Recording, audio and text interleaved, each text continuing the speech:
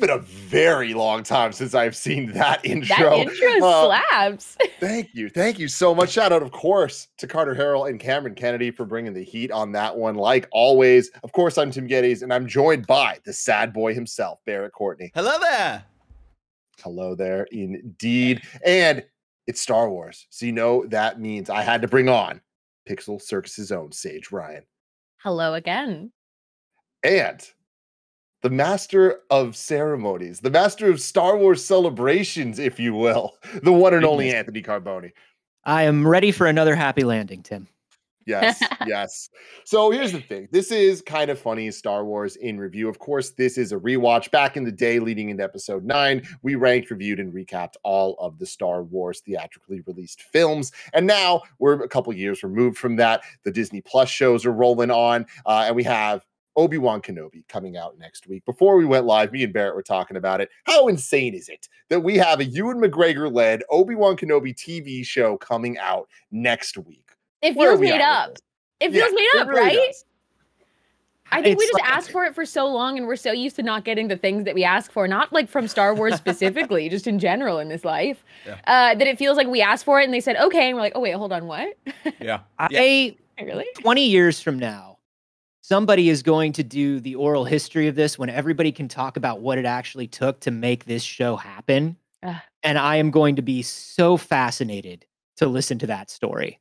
So fascinated. Because yeah. it, it's felt I'm like sure. a long time coming. And I remember it was, I think they announced it officially in this Dis- Disney era in 2019. Because I remember it was my first year at KF. We were still in the mm-hmm. studio and you know they were doing like they're building up to a bunch of like Star Wars announcements. I forget if it, if it was Star Wars Celebration or if it was like the Disney. It was content. D. It was D twenty three. I was yeah. there when they announced it. Yeah, and we were. You know, I I told Tim I think it was the day before of like all they need to do is have Ewan McGregor walk out on stage and be like, "Hey, I once played Obi Wan," and I'm gonna I'm gonna play Obi Wan again, and that's like almost beat for beat what they exactly did. And you know, I've been riding that high for three years, and you know, I'm gonna continue to ride that high over the next five weeks when the show actually finally comes out. It's insane. Hey, I you, I once played Obi Wan. Get ready for a Life Less Ordinary two coming to Disney Plus. it's damn it! Damn it! With love too. Are you At ready? Least give me a Moulin Rouge. You know what I mean? anyway, that's yeah. all I got for you today. Um, so of course we're doing a rewatch of Star Wars Episode Three to get in the hype, to get ready for next week uh, to see the eventual reunion of Darth Vader and Obi Wan Kenobi. But we had to see where they last left off. Um, so we're gonna do an in review in classic form. This is a very exciting in review because it's the very first time that we're having a guest do the plot. We're having Anthony Carboni do the plot of Star Wars Episode 3. So that's going to be great because this is kind of funnies in review, where each and every week we get together to rank, review, and recap different movie franchises. And sometimes we rewatch ones we've already watched before to get back in that hype train leading into a new project. You can watch it on youtube.com slash kind of funny or roosterteeth.com. You can also get it as a podcast by searching your favorite podcast service for Kind of Funny in Review. It will be right there for you. If you wanted to get the show ad free and watch live as we record it, you got to go to patreon.com slash kind of funny. Like our patreon producers molecule fargo brady and anonymous have done. Today we're brought to you by maple story and lumin skin. A little housekeeping for you. So this is our in review rewatch of episode three starting next week and every week after that until the show's over. We're going to be doing our reactions over on the kind of funny screencast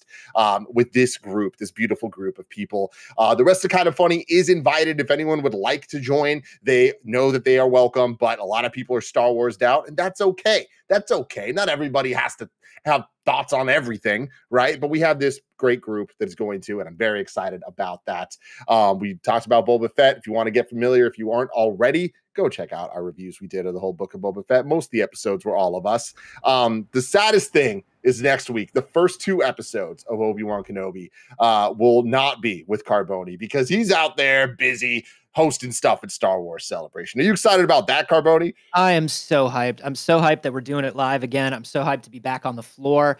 Uh, and I think it's going to be with everything that was just announced through Vanity Fair and everything that's brewing, I think it's going to be a very, very interesting year to be at Star Wars Celebration. We'll be doing it every day live on the Star Wars YouTube. So Yeah. Very excited. Really cool, really cool stuff. So uh me, Saige, and Barrett, we will be doing our uh screencast thoughts, impressions, review, all of that stuff of episodes one and two of Obi-Wan Kenobi next Friday morning. You can check that out. And then following that just every watch week it with you and I'll probably just go and like check it out with like Ewan and Hayden and then like Yeah, I'll no check big with you deal. guys Yeah, like no big No, but- Do you think you're actually gonna be with them? no Carboni? they keep me 100 yards away from those people so I don't slobber on them Yeah, yeah, yeah. Probably, probably for the best. They actually Um, wrote that in his contract when they signed him. Uh, uh, it's like, hey, we need you hundred yards away from these people, so you don't slobber on them. Yeah, slobber. It's the first time they've had to put slobber in a legal document. it's a very Mhm. standard slobber clause as, and it was created for me by Disney Right. Yes, Yeah. yes, yes. Gotta make your market Disney, you know? So, all of that stuff, we're talking about the future, but let's go to the past. Today, we are talking about Star Wars Episode 3 Revenge of the Sith. It was released on May 19th, 2005. The craziest thing that Barrett brought to my attention is the day this post, this video post, will be the 17 year anniversary. Which we didn't even do on purpose. It just kind of lined up that way. 17 years Yeah. of Revenge Yeah. of the Sith. I will never forget watching this movie. Uh, me and all my friends legitimately just skipped class. We just cut class in high school, junior year, to go watch this thing in I Daly think- City. And, and this is like gonna out myself as a baby for sure. Uh, but I think this is the only Star Wars until the new films that I got to see in theaters. I think this was the first one I got to see in theaters Oh wow. as a kid. Because I would have been like nine turning 10 when it came out. And that was Mm, like yeah. the age finally. I was prime age for episode three. I was Oh, the yeah. target demographic.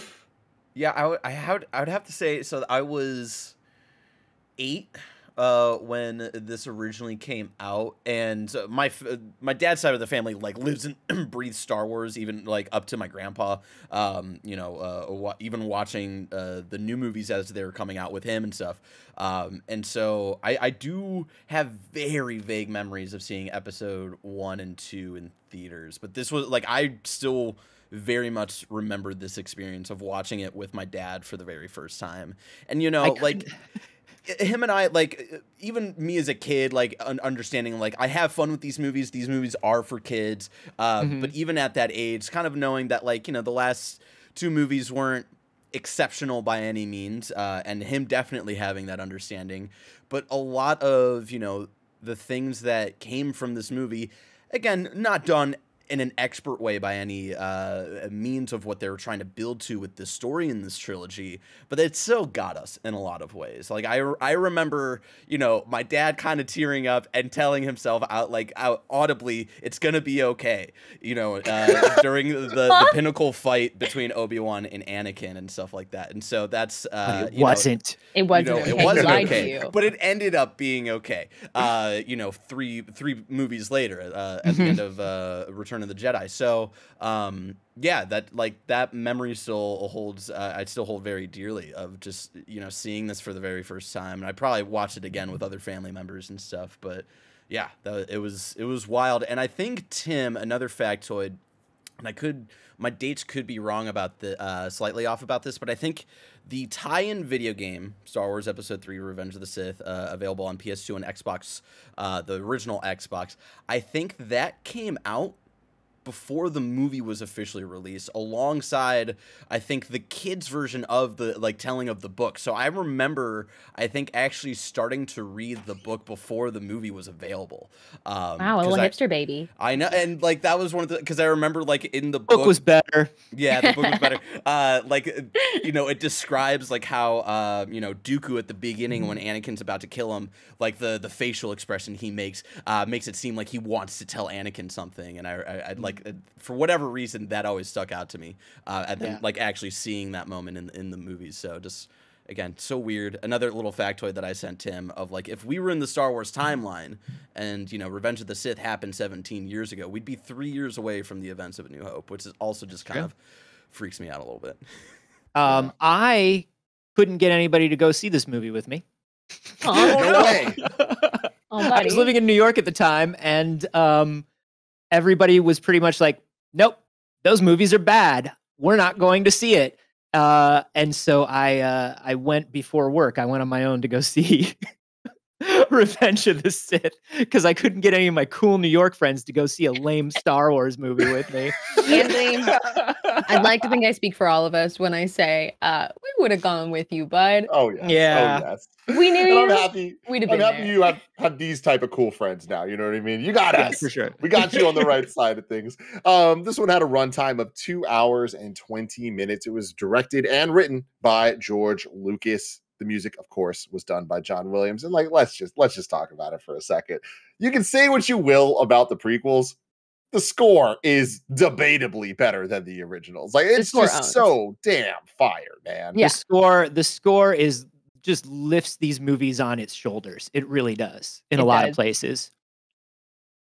Uh, the budget of this one was 113 million, and the box office was 868.4 million, the highest grossing film in the. U.S. and the second highest grossing film worldwide back in 2005. Wow. Did Obviously, now it's a lot lower. And I and Um, from what I remember, 200 it did 200 million more than episode 2 Wow. people who people who were like oh i don't want to see episode 2 or like i heard it's not that great and episode 1 wasn't that great they came back to see darth vader happen Yeah. Oh, they wanted to Oh. see this and you had to see it. This and- was the thing. with that, this was uh, again. Correct me if I'm wrong. This was the first PG-13 Star Wars, correct? Because all of them Yeah, had I been think PG so. previously. Yeah. and And boy, yeah. did they push that to the furthest extent.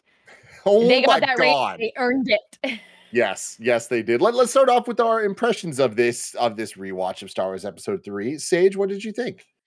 I really enjoyed the film. Uh, it was more violent than I remembered, which is very funny because it's been a hot minute since I've watched episode three. I've started prequel rewatches a good few times, so I've watched one and two more times than I've actually watched episode three.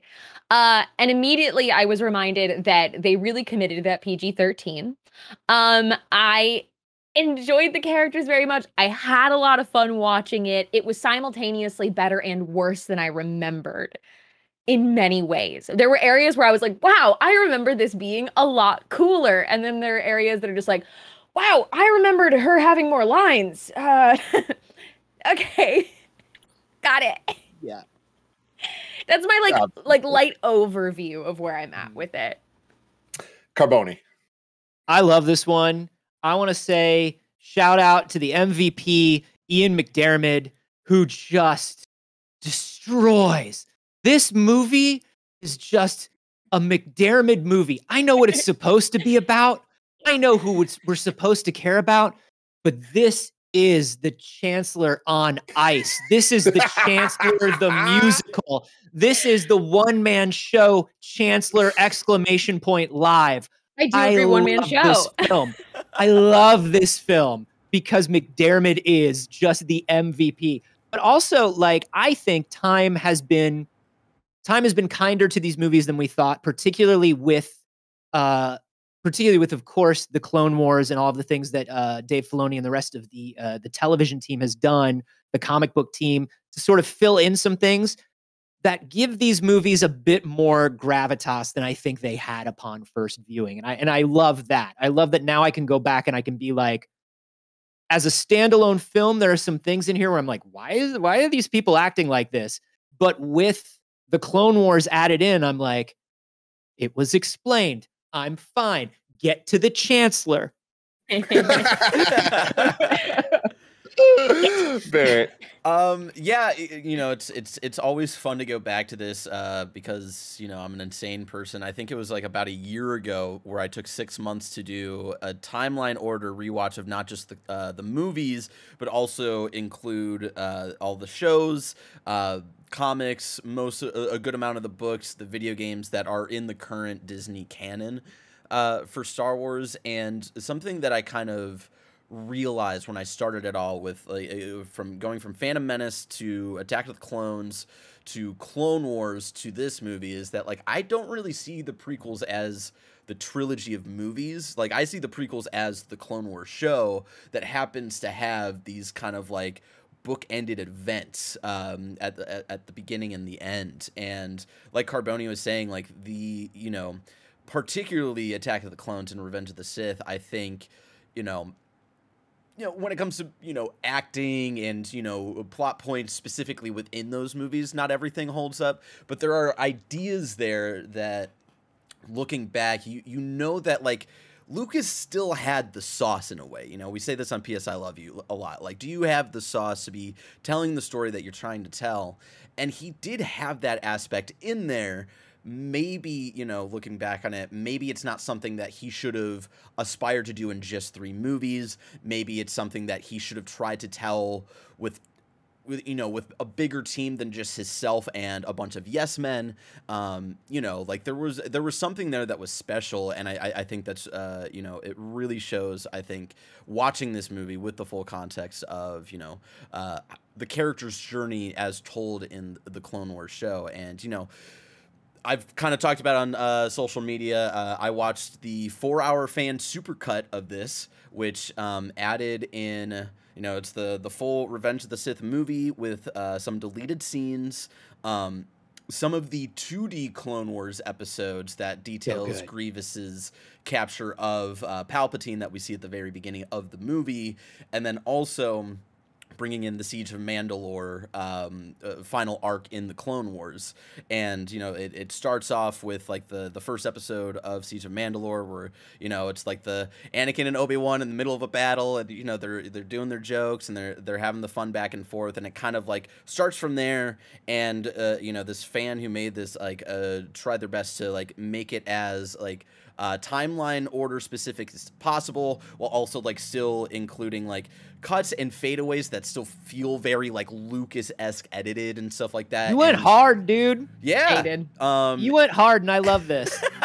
and I even rewatched some of the uh, some Clone Wars episodes before uh, watching this just to get like the lead in of you know where Ahsoka is at and stuff like that. And while you know this was like a fun thing to experience, right? Like it, it was it was really just fun. It, it, I don't know if it like watching it this way really added anything for me personally, but it was fun to see like you know the you know the moment where Anakin walks into the uh, Palpatine's uh, room, right, and um, you know, uh, Mace Windu's got him cornered, and then it cuts back to Darth Maul opening his eyes while he's captured because he feels you know this moment that he had a dream about a premonition about like it's about to happen you know uh, in the same vein of when anakin decides to betray uh, mace and then you mm-hmm. see Ahsoka's reaction to that, like cut to immediately. Like uh, that was pretty cool um, to just kind of like get the you know get the full ramifications of these core characters uh, from the shows and stuff. So um, yeah, and it was the one thing I remember texting Tim about was like it's so funny like when you're in like the beginning parts of it because the first shot of the movie isn't until 45 minutes into this cut. Um, and you get the detailed kind of Grievous capturing uh, uh, Palpatine and it's like the 2D 2005 animated show that like led into the release of this movie and you know it's very cartoony it's definitely 17 years old with like the mm. you know the the it's perfect uh, the creator of Samurai Jack, I, I, believe, who who worked on that, and yep. it's so cartoony, and you're like, man, this is really cartoony, and then you get to the beginning of the actual Revenge of the Sith movie, and you're like, oh, this is also kind of really cartoony. Like it weirdly, they like um, tonally weirdly still fit together, which is I thought was fascinating. So, um, yeah, I I still really love this movie. I, I loved it as a kid, and you know, over time, I, I, my appreciation of it has grown and grown. We can dip. Uh, we can dip into your. We can dip into your new encyclopedic four-hour cut knowledge when we when when we're trying to explain some of these motivations away. Yeah, yeah, that, that is 100 percent what it is. I also uh, put it upon myself to watch the four and a half hour cut. You did uh, it. More so because I I pressured him. I have it. not seen the original uh, Clone Wars cartoon since it came out. Where was the Dropbox links for your bud? Yeah, the two of us were out here like, the thing, I, watch this I didn't. We didn't want to like, put it on you guys. You yeah, know? we did not want to put it on anybody. And like honestly, it's one of those things where I had a lot of fun watching it. I don't even know that it is like the recommended way to watch it. I think it enhances a lot. Like the biggest problem I had is to Barrett's point, like the first forty five minutes are just uh, Clone Wars 2D, Clone Wars 3D, and the whole time I'm like, yo, this movie's not that bad. I was wrong. And then the live action movie starts. I was like, you know what? This movie's not that good. Like, what the fuck? wow. So I, I, I enjoyed it a lot. I think that you know it's it. We all understand what Filoni has done, what the the rest mm-hmm. of the mm-hmm. teams have done. They have expanded and they they took what was and they built upon it and they enhanced it and it did make it better in a lot of ways. And there's no taking that away. Those are all facts. That's all out there. This Talking about just episode. Movie. What's up?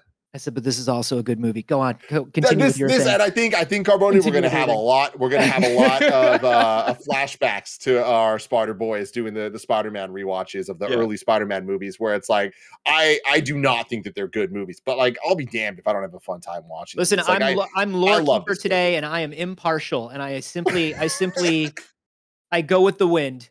As he's yes, in the background going, yes. and they're very good movies, but it's also very good.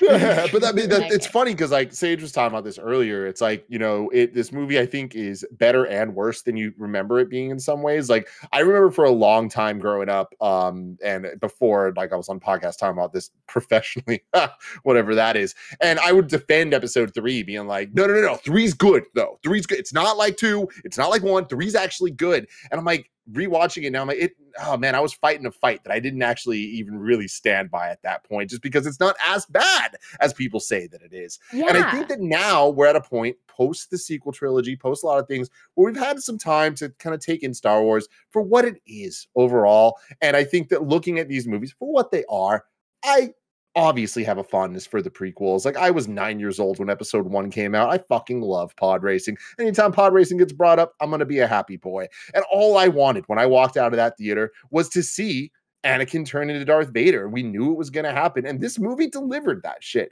It also delivered us a lot of things that didn't really make sense and so much cool shit that they don't show on screen that thankfully things like Clone Wars do show on screen mm-hmm. um, and kind of build up to. But this movie in particular, I think, is kind of. Um, better than it it was given credit for, but also worse than people do give it credit for. And it just kind mm. of is this fun thing that I can't wait to see what we get next week with the, the Obi Wan series. It's, I mean, yes, it, piece of art. those are a lot of words. Those there are, are layers. There are layers. But it's it's undeniable that the the prequel trilogy is a very special set of movies that um have a lot of joy in them. And mm-hmm. whether i'm enjoying watching them because of how bad they are or because of um how good they are i'm firmly on the bad side but i have a lot of fun and you can't take that away from me. So with that i want to get to our, our sponsors real quick but when we get back Carboni is going to start the plot Shout out to Maple Story for sponsoring this episode. Are you tired of being judged based on the way you look? Maple Story is too. Because while it may look cute and cuddly, this is a deeply hardcore MMORPG. Maple Story is full of vast, colorful lands and a ferocious array of towering monsters, and don't get us started about damage. Maple Story will have you dealing billions with each swing of your Fafnir battle cleaver as you battle boss after epic boss, and you can customize your Mapler your way. Maple Story has 40 plus jobs and thousands of weapons, outfits, hats, armor sets, and mounts for you to take on your journey, from the Lionheart battle bracers to vicious lollipop wands. And you know I love a lollipop wand. There's a ton to see and do in this picturesque world, and with 18 years of content to sink your Genesis weapon into, there will always be a new adventure around the corner. Maple Story is ready to go are you? You can go to maplestory.com to check out the game and play for free. That's free, guys. Come on, maplestory.com. This episode is brought to you by Lumin. If your skincare routine is basically you washing your face in the shower with that one shower gel that you've been using since high school, then it's time to level up the skincare game. Thanks to Lumin, you can drop that bottle of three in one and start using products that actually take care of your face. With Lumin, you get the highest quality products. All their products aim to help with those stubborn acne scars, under eye dark circles, wrinkles, sun damage, dry skin, oily skin. Gia has been using the charcoal face wash and charcoal face scrub and she feels so fresh, so clean afterward. She has dry skin, so especially during the winter, it's nice to have that hydration and exfoliation. Also, she's a big fan of the really subtle citrus smell. All you have to do is take a two minute quiz on their website and they'll tell you exactly which routine is best for you based on your skincare needs. Level up your skincare game with Lumin Skin today. You can go to luminskin.com slash kind of funny to get your free trial of Lumin's products. That's L-U-M-I-N-S-K-I-N dot com luminSkin.com slash kind of funny to get your free trial of Lumin's products. Luminskin.com slash kind of funny. Carboni, the floor is War! Yours. War! this is one of my favorite. Uh, listen, out of all the crawls, I have to say my two favorites are crawls from probably two movies that people do not love the most. I love this and I love the crawl from Skywalker, where it just starts with the dead speak. No. See, yes, this is that's a I good crawl. look, you say what you will you about the movie. You're watching, you're, it comes up on the screen. The dead speak. Fuck, yeah. that's a good start. Now, no, where does it go from start. there? Where does it go from there? That's not what we're talking about. What we're talking about is war. The Republic is crumbling under attacks from the ruthless Sith Lord Count Dooku. There are heroes on both sides. Both sides what? need to be listened to.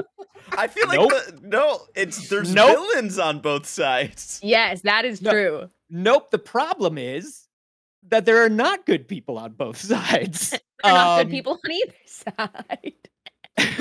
but it does say evil is everywhere. Now, uh, this this starts off with I think this is a beautiful opening that kind of shows to me how far, just within the space of these prequels, the technology came from episode one to episode three. Um, seeing the seeing the star destroyers and the starfighters floating over the floating over the planet, it all looked so much better to me than episode one did. And you can really see these movies were basically a big experiment by George Lucas to be like, can I make an entire movie inside a computer? Can anybody do that? And I think by the time they got to episode three, I think this I think this entire opening sequence looks beautiful. Um, Dude, I, I, think I think it's more than just the the technical look of it. I think it is the the lore and story kind of ideas of the ship designs um, changing and hopefully Carboni comes back. uh, but of the ship designs, I, am a sucker in Star Wars for kind of getting the the cross era uh, progression that we see and seeing the kind of like ship designs from the good and bad sides kind of flip into the empire um, yeah. on this and like the star destroyer shape and stuff is the good guy ship in this but like that stuff's really cool to me but i think that this opening a star wars movie in the starfight like yeah. in the the like the like we're in space and this is normally the last third of the movie but boom we're starting with it was i think a bold uh, it was a exactly it was a bold call and i think that it's one of this movie's strongest points like it was really well choreographed and having anakin uh like get all the buzz droids off of the other ship and like using his ship like droids. all that stuff i'm like this is really great for character development for them and it's kind of a thrilling action scene and to carboni's point it looks cool so it looks great. i i thought the opening of this movie was really yeah the buzz droids are one of those beautiful Star Wars things that make no sense. like, I love them because it's like, we're not going to shoot your ship down with an explosive or concussive blast. What we're going to do is we're going to shoot you with something that opens up into a bunch of tinier little things that slowly that slowly cut you apart into tiny little pieces and I'm just like yes yes to this. I love it. Well, there's got to uh, be a solution when you can't shoot these like really talented Jedi fighters down. You gotta mm-hmm. you gotta figure out something, and you, you just like you just you know shotgun blast all of these uh, little uh, uh droids that look kind of cute in the right context, kind of uh, adorable. Yeah, there are a lot of evil mm-hmm. droids in the prequels that are actually very adorable. so true. Um, now, this, of course, we sh- we see uh, Obi Wan and Anakin in their ETA two starfighters, which are some of my favorite ships, the little Flash Gordon space pods that they fly through. Um, and this also, to me, is a really great. I think Revenge of the Sith might be. It's up in the most quotable movies of all Star Wars movies. It really is. Just the just the back and forth between Anakin and Obi Wan. There's so many good one liners in this and I forgot how many of them just come right out of this first five minutes. just the just everything. The flying is for droids. All of the good stuff uh, comes here, and I I love. I just love that this is where we kind of get to see Anakin and Obi Wan, and we only really get this friendship pre Clone Wars series. This banter is what we get in this movie. Yeah. This opening yeah. sequence is what we get. It, it, it's very reminiscent of the you know, it, again, it's uh, almost blanket uh, and you miss it kind of thing from Attack of the Clones when they're in the elevator, right? Mm-hmm. Where you see Ewan McGregor bring that energy with like what little he's given to have the fun, quippy back and forth with his Padawan. Um, yeah, now, which is great, and it's unfortunate too because it's like they're like, all right, we're gonna have quips and like fun brotherly love at the very beginning of this movie for 30 seconds, and then we're gonna completely forget about it for the rest of the movie. I think there's yeah. one other point where it comes up, and I'll reference it when we get to it. But I do think that there is one other moment that I think is crucial to their relationship uh, that highlights the way that Obi Wan believes in Anakin, which I think is very important to the direction this goes, and yeah. like what a pillar of um, belief that he's been the whole time, and also like support for Anakin's self esteem that he is. Yeah, that comes up a little bit later. I, I I think I know the part that you're talking about. So uh, they are, of course, uh, flying towards Grievous's ship, the Invisible Hand. Uh, the Invisible Hand, I love as a name because, of course, it references Palpatine. It references it references Sidious. It also references.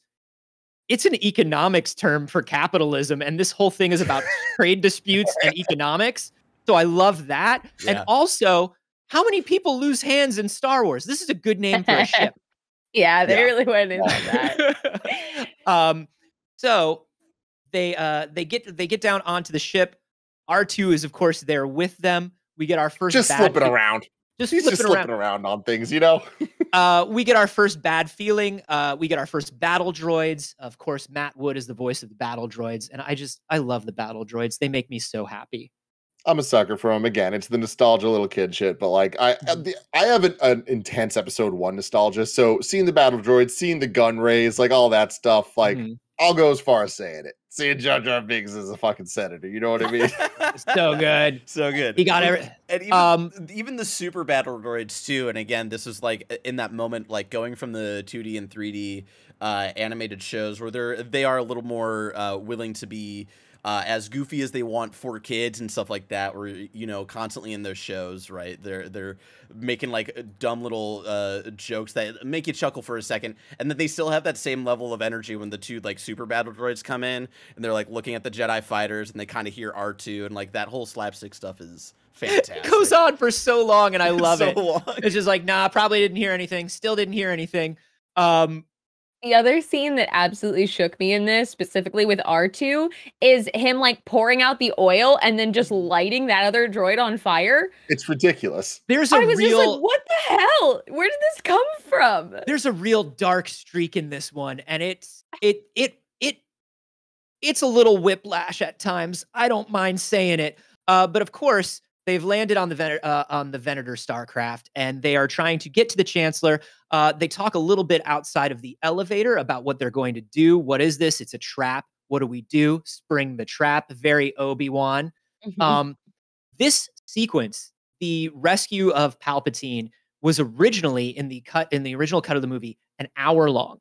There was a lot wow. that was cut from this, and I buy that because it makes little to no sense without like rewatching it a couple times and really mm-hmm. kind of mm-hmm. getting into it because like i think episode three uh does a disservice to a lot of people where this is one of the earliest examples in in star wars or in any of these kind of big um ip movies where oh hey grievous is here now who the fuck is grievous what the fuck are you talking about tim you and had it, to watch like, the 2d animated clone wars show to understand okay that's the point that i'm making is that like that it was such a different time where to see that you needed access to cartoon network right like that is not something that is like Disney Plus, where everyone just kind of where Disney assumes you right. you have access, you're able to see this. They were just like, fuck it, it doesn't matter. We're just gonna drop people into this scenario where in one ship. We're going to have multiple people that you know that the audience knows are bad guys, and mm-hmm. we're also going to like the Gunray people from episode one, but we're also going to have the um Palpatine, clearly the Emperor, and we're also going to have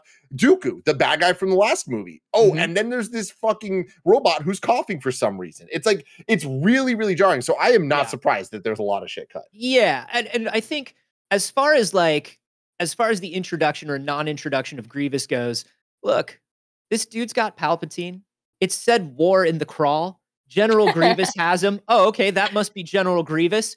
I love his weird limping chicken run that he does. Grievous never walks. He's always like doing that. like I I just he's such a weird little movie monster, like Lon like Lon Chaney of a guy, and I freaking love it. Um, going up through the elevator, this is where one of the first big cuts happens. There is a lot more discussion between Obi Wan and Anakin in the original cut, and there's a lot more showing of sort of the trust and the friendship between the two of them.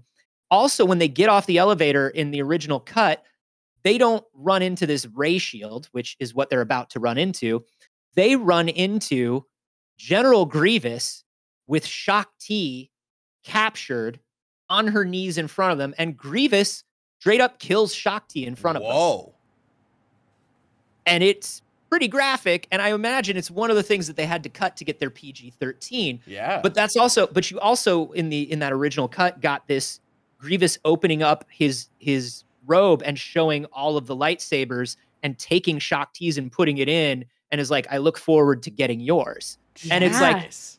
Cool. yeah. Yeah. and it's funny of like how they were thinking about that again not to keep bringing up this 2d 2005 animated show but she's the one pursuing grievous while he's trying to like uh, capture uh, palpatine so that's Yes. like it's so interesting i'm like how I'll tell you what, there are more. There are two more uh, cut scenes where Shaak Ti dies. they Why could not keep fig- killing Shaak Ti. they could not figure out where to put the death of Shaak Ti. Uh, but what I love, uh, so we show as they're going up through the elevator, uh, we get a lot of the Obi Wan is not good with technology. He's not good or trusting of droids. Anakin's still like, hey, shut your mouth, droids rule.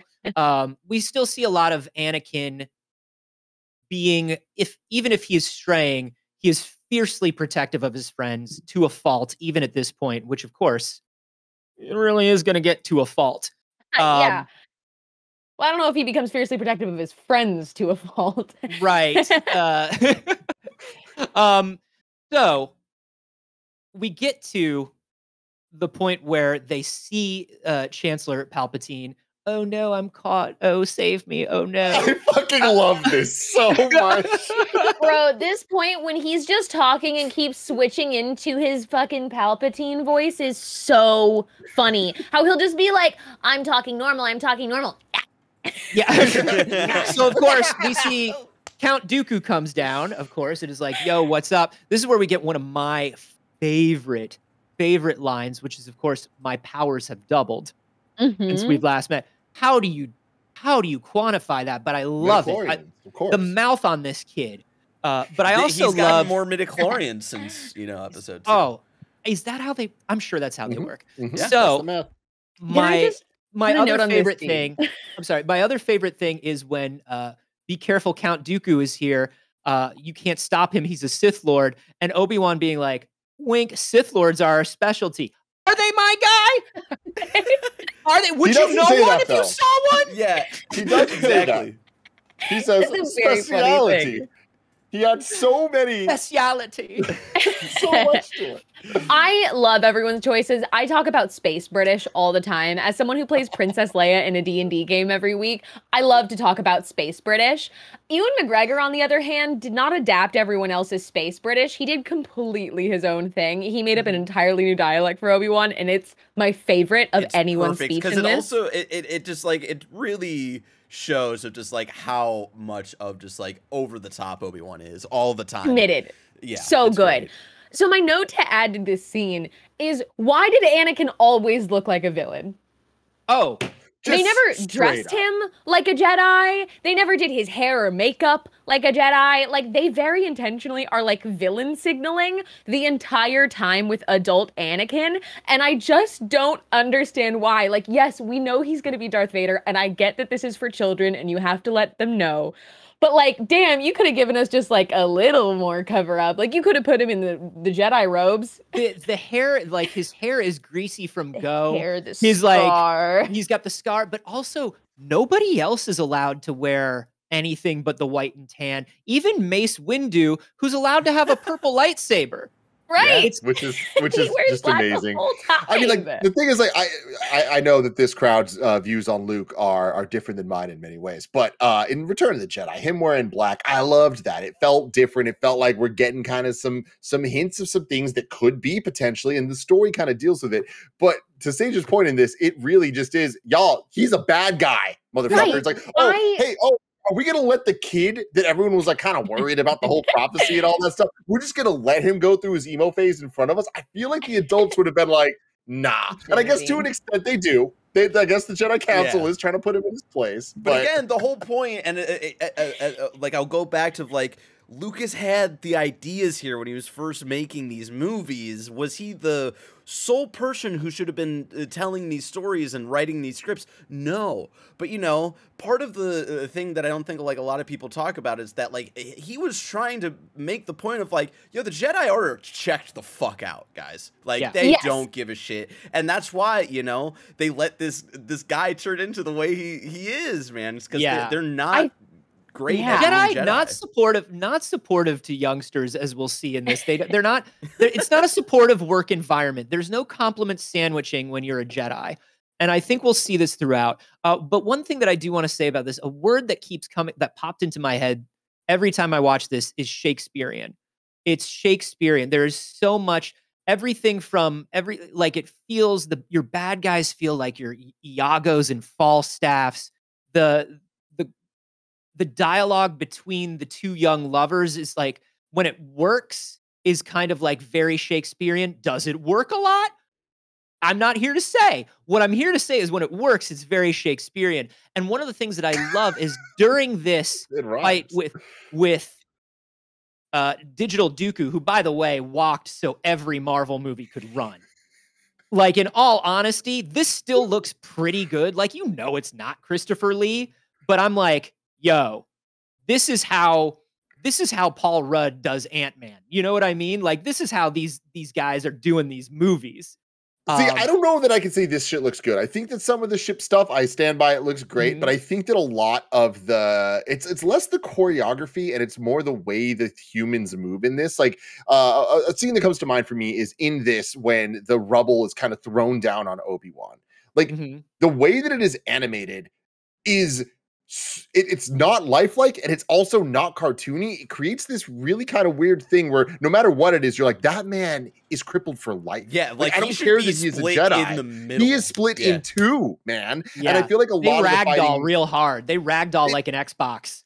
The ragdoll shit, I think, kind of like uh seeing Christopher Lee like move around the way he does, it just it doesn't feel believable, even mm-hmm. knowing they have special powers that make anything happen. Like it, it right. just doesn't like add up to me visually. I I didn't have I didn't have that same problem. I would say you know obviously the effects are not as good as as we've got now, but I think one of the other things that I liked is they were learning to edit for the effects too. Like they weren't so this has to be a perfectly clear shot of a digital person all the time. They started cutting it a little bit more like a like a fight scene in this.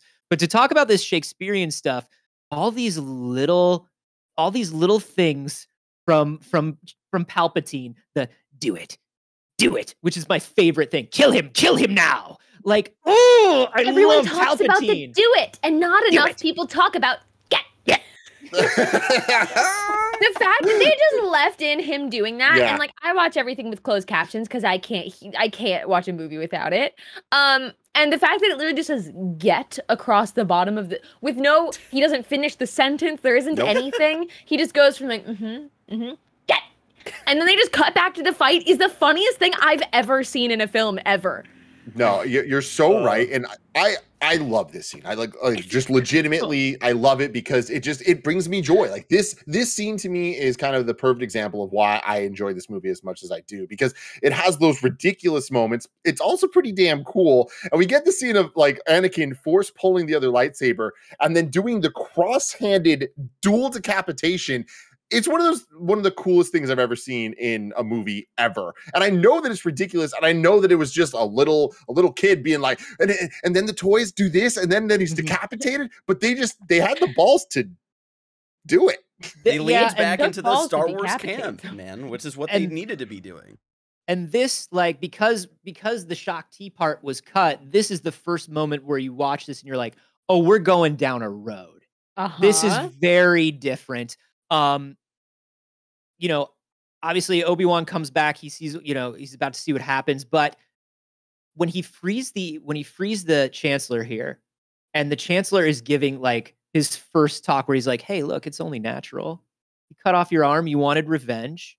Remember what you told me about your mother and the sand. This is this is like grooming This is the groomingest of grooming. He's like, hey man, no, I get it. You were angry and you flew you flew out of line. Remember that thing that you told me in confidence that only I know about what you did to those people? I understand it. I'll never tell anyone, but remember that I do know and I could. You know what I mean? Like this proper villain. This is, this is very good and McDiarmid plays it very very well. Um I do also like this moment here even though the kid is dressed in black and decapitating people the thing about Obi Wan, where um, his fate will be the same as ours. We're not going to leave him behind. This is my friend. I do still care. My I'm already starting to get mixed up in the head, but at this point, I still do remember to, that why I started doing this was to protect the people that I love. Um, R2's wild ass side adventures. Great, absolutely. Are hundred percent, just the best R two side adventures you could ask for. Because while this is happening, it, we've got the stuff going on that we were talking about, where he's literally uh, immolating droids and like trying to like trying to hide. When we see him, they get caught in the ray shield, and and it's like, don't worry. I say patience. R2 will R2 is still out there and R2 just comes slamming like oh no and I'm like this is a good comedic moment. yeah. I actually love this moment. Um, R2 will save us perfect balance there, right? Yeah. Especially because Anakin is such like a like a pissy boy through all of this. the, his like softness for R2, I think, is so important. Yeah, mm-hmm. we're, we're, I, he, I do too. Sorry, go ahead uh, just just real quick, I was just gonna say it's like I I think that uh, one of the bigger problems, one of the bigger problems of the prequels is their commitment to going back and being like, hey, remember C-3PO? Well, Anakin actually built him, and R2's been there the whole time, and oh, mm-hmm. Chewbacca's gonna hang out. We'll get to that in a second. Like all that type of stuff, I think. Like while of course creates the fan service hype moments uh, in theaters and stuff, creates problems where all of a sudden they are creating new character uh like traits of these yeah. characters that we know that they then need to double down on. So getting this like goofy R2 that we had a goofy R2 in the original trilogy, but it was a sassier R2 as opposed to like goofy kind of weird shenanigans that I think we get in, introduced to mainly in Attack of the Clones, yeah. where he's like jet setting around, you know. And the opening of this movie feels like they're doubling down on that. Like, well, it's because R2's like that. It's like, well, y'all made him like that, and he wasn't before yeah, the the Metroiding, the sort of Samus Araning of R2 where somewhere between the first trilogy and the second trilogy. He loses all his weapons and stuff yep. is a little interesting. Uh, you know, they, that's something that they do talk about a little bit where where um, as time goes by, uh, the, the, maintenance that's done on R2 is less. Some of that uh, functionality is taken away or it doesn't work anymore. R2 is also like trying to keep a low profile at that point. Like there's a lot of stuff that goes on to explain it, but you're right there does become the weight where it needs to be explained. Yeah, um, I will say I think I'm okay with him having a little bit of a "you're not my dad" energy, though. Mm-hmm. You know what I mean? Like Anakin was his boy. Anakin yeah. built him, and that bond never quite forms even between him and Luke. Because uh, like as much as it was passed down, and now he was Luke's droid, like he wasn't Luke's droid, right? right. So the relationship that they have is not the same. And the things that he has been through and the things that he has seen through it, even though there's not necessarily supposed to be like emotions necessarily, I think that changes over time and I'm okay with it. Um, they are taken prisoner, of course, by Grievous. They decide that they're going to they're going to go to the bridge with him. Um, one of my favorite things that I love is as they're brought into the bridge to face Grievous, one of the battle droids like walks by and goes, "Excuse me," like bumps against like bumps against Obi-Wan and but just goes, also, it's me. not like a like a just a very flat excuse me. It's like excuse me, like uh, I'm walking here. Come yeah. on. Don't you see me? I'm a droid. I exist here and you're just going to bump into me like that? Like it's such yeah. a it's just a specific level of sassiness where it's like, "Hell yeah, I love these droids and I need an entire show about just I the sassiness the of these droids." So um, we also get introduced to uh, the the IG 100 Magna Guards. Those are the droids that wear very cool torn capes and have oh, so uh, and have cool. the electric uh, have the electric staffs. Um, they are mostly used as Grievous's personal guard. Uh, you don't see them much uh, outside of that, but they're some of my favorites. I love them so much. Uh, and they're like... all over the the 2D Clone Wars, which mm-hmm. I mean, I just need to say it. Like, y'all watch this shit. Like, if it's been a while or if you've never seen it before, watch it. It is so damn cool. I would argue it is cooler now than it was then. Like, it's oh. fucking oh. awesome. Genndy Tartakovsky destroyed with that. It's it's absolutely unbelievable. The the Mace Windu episode of it is cool. Um, the the big the big ba- uh, duel. But anyway, um, General Grievous, you're shorter than I expected. I that's good it's good. It's Star Wars. Uh, it's good. good. But you know, there is to me there is a little a lot of people die in this movie, which does not happen as much in Star Wars. And a lot of people make jokes immediately after people dying, which is a little weird. Uh, yeah. It is Star Wars, but that to me is like the weirdest bits. Is like the yeah. quipping immediately after somebody dies. He doesn't but, know how to transition in between those like uh, those darker moments and the the quippy things. I do want to you know uh, just shout out you know, because I think someone in the the Patreon comments already uh, said this of because of this very short interaction where it's implied of like Anakin and Grievous have not met each other whatsoever during uh, uh, this war. Throughout the entire run of the Clone Wars show, which is seven seasons, Anakin and Grievous never interact with each other in an episode. They they make sure even if they're in the same episode, that they never actually cross paths. They meet. Like, w- they meet one time at a masquerade ball, but they're both in costume. yeah, they didn't know, and they so didn't they know. didn't know. And they actually like they actually found out that they got along really well, and like they have a lot in kissed. common. Yeah, they kissed a little bit, but uh, yeah. they didn't know. They know they never knew. uh, if he can cough, he can kiss. That's what they say. Motto. That's what my doctor always says. If you can cough, you can kiss. What? He's General not a great Grievous doctor. coughs. He's why does a droid cough? Uh, because it. well, there's a whole thing to Grievous. Yeah, he wasn't course, always a droid man. He was. I know. know, but he is made of droid parts now. he's made of droid and and just the most tired eyes you've ever seen. He just shouldn't needs, cough. Just needs one nap, Grievous. Um, this fight in in the bridge of the Invisible Hand, I really love. I like watching the the Magna Guards fight. I like watching uh the fact that Obi Wan and and Anakin sort of just planned for. Oh well, we'll get more sabers. Things will happen. We're gonna get our way out of this. We'll improvise. Uh, All the gravity but, stuff, like I'm a sucker for gravity stuff, and oh. I thought it was done really well in this. Like this, th- they did a good job with the pacing of the opening of this movie, going from the the starfight scene to into the ship to then this action scene. Like it kind of feels like, oh man, you're already giving us another one. Like thank you, this is pretty damn cool. Yeah, and Grievous uh, taking out the taking out the the the windshield, the starship windshield of his own ship to take out these Jedi is such a power move. And I love it so much. And it really sets the tone for this, for Grievous, for this new villain that we're meeting. We're like, damn, he can do that because he's mostly robot and tired eyes. What how are they gonna fight him? Um, so I really, I I just I think it's very good. I my one of my favorite lines here as they're trying to sort of they're trapped on this ship, it's falling apart. Grievous is like, sayonara suckers they've got to they've got to land this thing on Coruscant. And I love this line from Obi Wan that's like, "Can you fly this thing?" And Anakin goes, "Under the circumstances, I'd say the ability to fly this thing is irrelevant." Yeah, yeah, which is such like a good. like a, almost like a very nerdy way to respond, which I feel like is, is something that like is a very small aspect of Anakin that we hardly ever get to see. Where it, it was almost like the um like I, I I almost expected Obi Wan to be like English, please, like in that in that sort of way mm-hmm. of just like how Anakin responds that way. It's fucking great. Yeah, and I love you. You do see like, you know, throughout this, Obi Wan is not comfortable with technology. Obi Wan does he can fly and he's really good, but he's good because he's a Jedi. He's not good because he likes flying. And so seeing Anakin like kind of being in charge of this, like grab that, pull up on that, let's go. We're coming in too hot. I love this I love the introduction of like these flying fireman ships. That's really fun to me. Yeah. Like just these flying fire extinguishers as they're landing.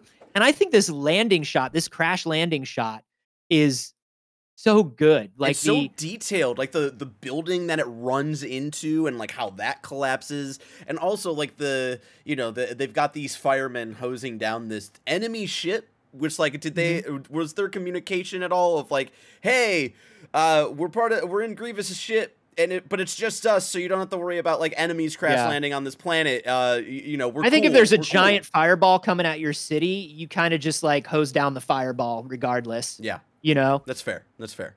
Um, but I love it. It ends with that perfect, like they just skid up into frame, and then of course you get another happy landing with the with the hair stroke too from Ewan McGregor. Yeah, just, oh uh, my god.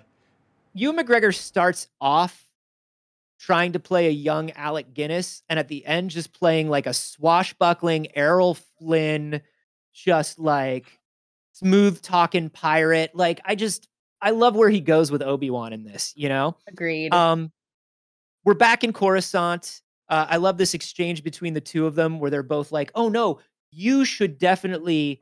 You're the hero. You hang out in Senate all day. It's like, oh no, no, no, no you hang out in Senate all day. No, really. Um, and I do. This is the I, scene. Yeah, it's very cute. It's because they're joking about how neither one of them wants to be a part of it. But mm-hmm. Obi Wan is genuinely saying, "No, you're the hero. You did a lot today. You did this. You, you know, you saved me from from being shot down. You rescued the Chancellor. You landed the ship. You Carrying did me this. unconscious on your back. Mm-hmm. Yeah, I think this is one of those other moments where like the pride that Obi-Wan feels for Anakin as a genuine sense of friendship that is not talking down to him, that isn't coming from this kind of like uh good work champ perspective, just mm-hmm. as like, nah man, you freaking did it. Like, please yeah. take a moment to enjoy it. And him seeing the like darkness that Anakin carries around and his lack of ability to just enjoy a success at all. Um, I think that was the part that I was like, I think that's important again. I think it's a moment that speaks to their friendship. And it also speaks to Obi-Wan being like, man, you got to lighten up a little bit. Like, can't you just take a minute? Yeah. Where's some white? Your closet's looking pretty pretty dark right now. You yeah. know, it's, it's not a colors, face, Dad. Colors. Yeah. I remember my mother saying all of these things to me as a teenager. um, so uh, they report on what went down. Uh, Mace Windu says, "Don't worry, General uh, General Grievous will run and hide. He always does." And I'll, and then of course we see as they're all walking off to Senate, up comes Padme, and I'll tell you what, I do. do I do like. Look, clearly they're not hiding, which is a thing, but they're they're in pretty plain view. I guess they're in the shadow of a column, but it's it's it's Buffy the Vampire Slayer Oh. Um, it's Buffy the Vampire Slayer hiding. Yeah, it's the way yeah, that you can yeah. be right in front of a window, but as long as you're not directly outside, you're fine. As long as there's a little awning, you can be in the sun. Yeah, if he's got a if he's got a parasol, he could be a good he could be a good vampire. So, but like also like uh you know even though they're they're you're they're hugging they're embracing they're kind of hiding again like uh, you know it's it's not a secret that they are friends with each other as well yeah and uh, again like a appreciation for season seven of Clone Wars right like they kind of reinforce um at the very beginning of that season like how long he's been gone from Coruscant like they have not seen yeah. each other in a very long mm-hmm. time how long yeah. has it been does anyone know like approximately like, before been, she had a baby like, bump yeah, it's been a few months. Like they haven't seen each other in a while. Mm-hmm. And I think I do love everything up until well, here's what I'm going to say. In this exchange, I do genuinely feel the the attraction and the chemistry between the two of them, which you don't always, you know, one of the one of the criticisms leveled against this these prequels is you don't always feel that. Uh, I think I think it is very strained and it's not very realistic in Attack of the Clones at all. And George Lucas has said he had trouble with this relationship. He had trouble writing it. He had trouble making it feel natural. But I think in these scenes and in these moments where they're sort of where the actors are sort of given emotional beats to kind of grab onto, mm-hmm. you know, that are clear emotional beats, they respond in kind. And I do love the interaction between Hayden and and Natalie here. Now, when she says something wonderful has happened, Annie, I'm pregnant. The tone kind of changes a bit. It, Neither it one does. of them, I don't think, yeah. under, knew what they were trying to get to in that moment. And and that's it's weird because I think that uh I, I'm I'm pretty much right there with you, and I think a lot of it has to do with the score. As most of this movie, even when things aren't particularly my favorite when it has such a great score underneath it. It carries it a bit more, and the Across the Stars love theme is like so damn good that I feel like anybody, any two people on screen, and you play that music, I'm like, I believe yeah. they're in love. And like, I, I will say that Hayden Christensen and Natalie Portman like push that to its limits. Like they really, really, really try for me to not believe in them. Um, but I feel like there are these moments every once in a while where like I, I can see this, I believe this, I understand it. But then yeah, the conversation about like, hey, I'm pregnant, and the way he reacts, the way she reacts, I'm like, what the hell are they doing here? That's the thing. I don't know how either of them feel about it. I have a much clearer idea of how she feels about it because he, and I get what he was going for. What he was going for is I'm scared. This is big. There are all of these implications that come along with this. I'm going to try and put on a brave face and pretend like I'm very excited for this. I get that that was the intention, but instead he goes, ha, huh, huh, hmm. And he gives every emotion that his face can possibly offer in that moment. And I can't tell which one is real. They're all fake. it's so weird. It's such a weird interaction. And then he goes to like, this is a happy moment. Let's celebrate after just having been like, shit. like, fuck. I mean, and I like you genuinely can't tell. It doesn't feel like he's trying to cover that. There's it's not in the performance. It goes away when he goes yeah. to the like, I'm happy about this now. I try to remember that that Anakin at this point is 19 and Padme is 25 and I'm trying to think of like telling a 19 year old kid that he's a dad and how yeah. weird and what a weird alien he's going to be about that. You know what I mean? And I don't think that he should be just excited because again, there are huge implications that as well mm-hmm. for him, you know, as a Jedi and all of this. I just think he's got to pick. I think yeah. he's just got to feel something, honestly. Yeah. Uh, I get that. I totally get that. And this, of course, is a moment where it's like, this is where you say, cool, I'm not really, I'm not really meshing with the Jedi anyway. It's great. We'll announce our relationship. We'll be together. I still know how to do cool force shit. There's probably something for me to do out there. Yeah. I'll be I'll be good. I've learned to trade. The trade is making things float with my mind. And I will go out and I will get a job. You know what I, you know, I, I think I think this is where you first Uh-oh. a little bit, little bit internet troubles today. Sounds like. uh, this is the scene that you referenced earlier, Tim. Though, uh, where Natalie Portman does brush out her fresh curls, mm-hmm. uh, which is a very bold move. Uh, it's well, just, this is the balcony scene, right? Uh, and yeah. yeah. Fun for our our four hour cut half of this conversation was cut out uh, when when they start getting into the yeah. you know um you know uh, so love has blinded you and he's like I'm so in love so, with you. It's like they just they cut, cut, one of Natalie Portman's six lines for the extended cut? but they added all of the deleted scenes two hours of content? Okay. Yeah, the deleted scenes were pretty cool. Hold up we're about to get to the brushing her hair a hundred times on each side which Padme Padme does brush her hair quite a bit in this trilogy uh, but to be fair, she's got a good head of hair. Now that's what be- girls do. That's what they girls do. Hair. And they love horses. And what else do Lip we know? Gloss. Lip gloss. but before we get there, we see uh, Grievous's cool ship that lands like bugs. I like all the ships that land like bugs. Mm-hmm. Um, his ship lands and he runs to go talk to Darth Sidious. Who could Darth Sidious be? Could it's be anyone. Unclear. You only see three quarters of his face. You know, it. I that, that's the weirdest thing is like I was so unclear, and I'm happy. I'm happy that they found a way to shock his fucking face to make him look a little more disfigured, just so mm-hmm. just to make it clear, so I understood. Oh, he's that guy. Well, he does have to eventually, at some point, look like that. Um, but it's like I I feel like that could be explained by the dark side of the force yeah. kind of just corrupts you over time or something sure. instead of what they decided to do which is one of my least favorite choices of this film. Oh, we'll get there, and I love it for a million reasons.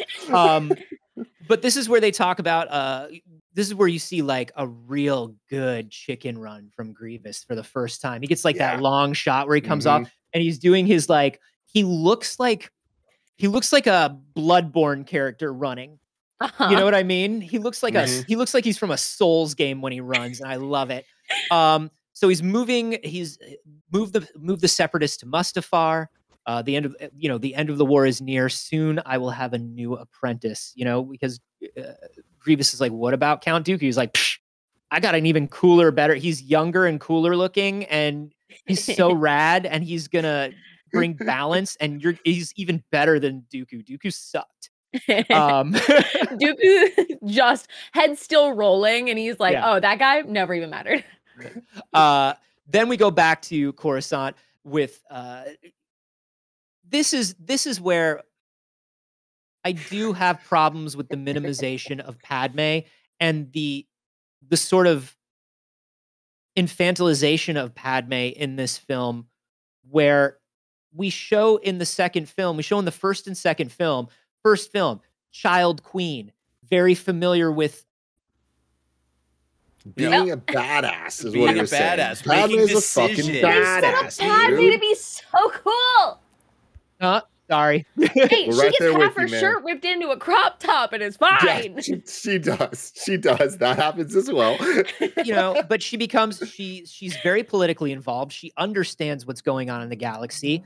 She is and and that sort of gets taken away from her more and more as she becomes like just the object of Vader's obsession um, and and I will say that I don't like that. I do like I kind of like this conversation here that they have. Uh, and that you're so beautiful. It's only because I'm so in love. No, it's because I'm so in love with you.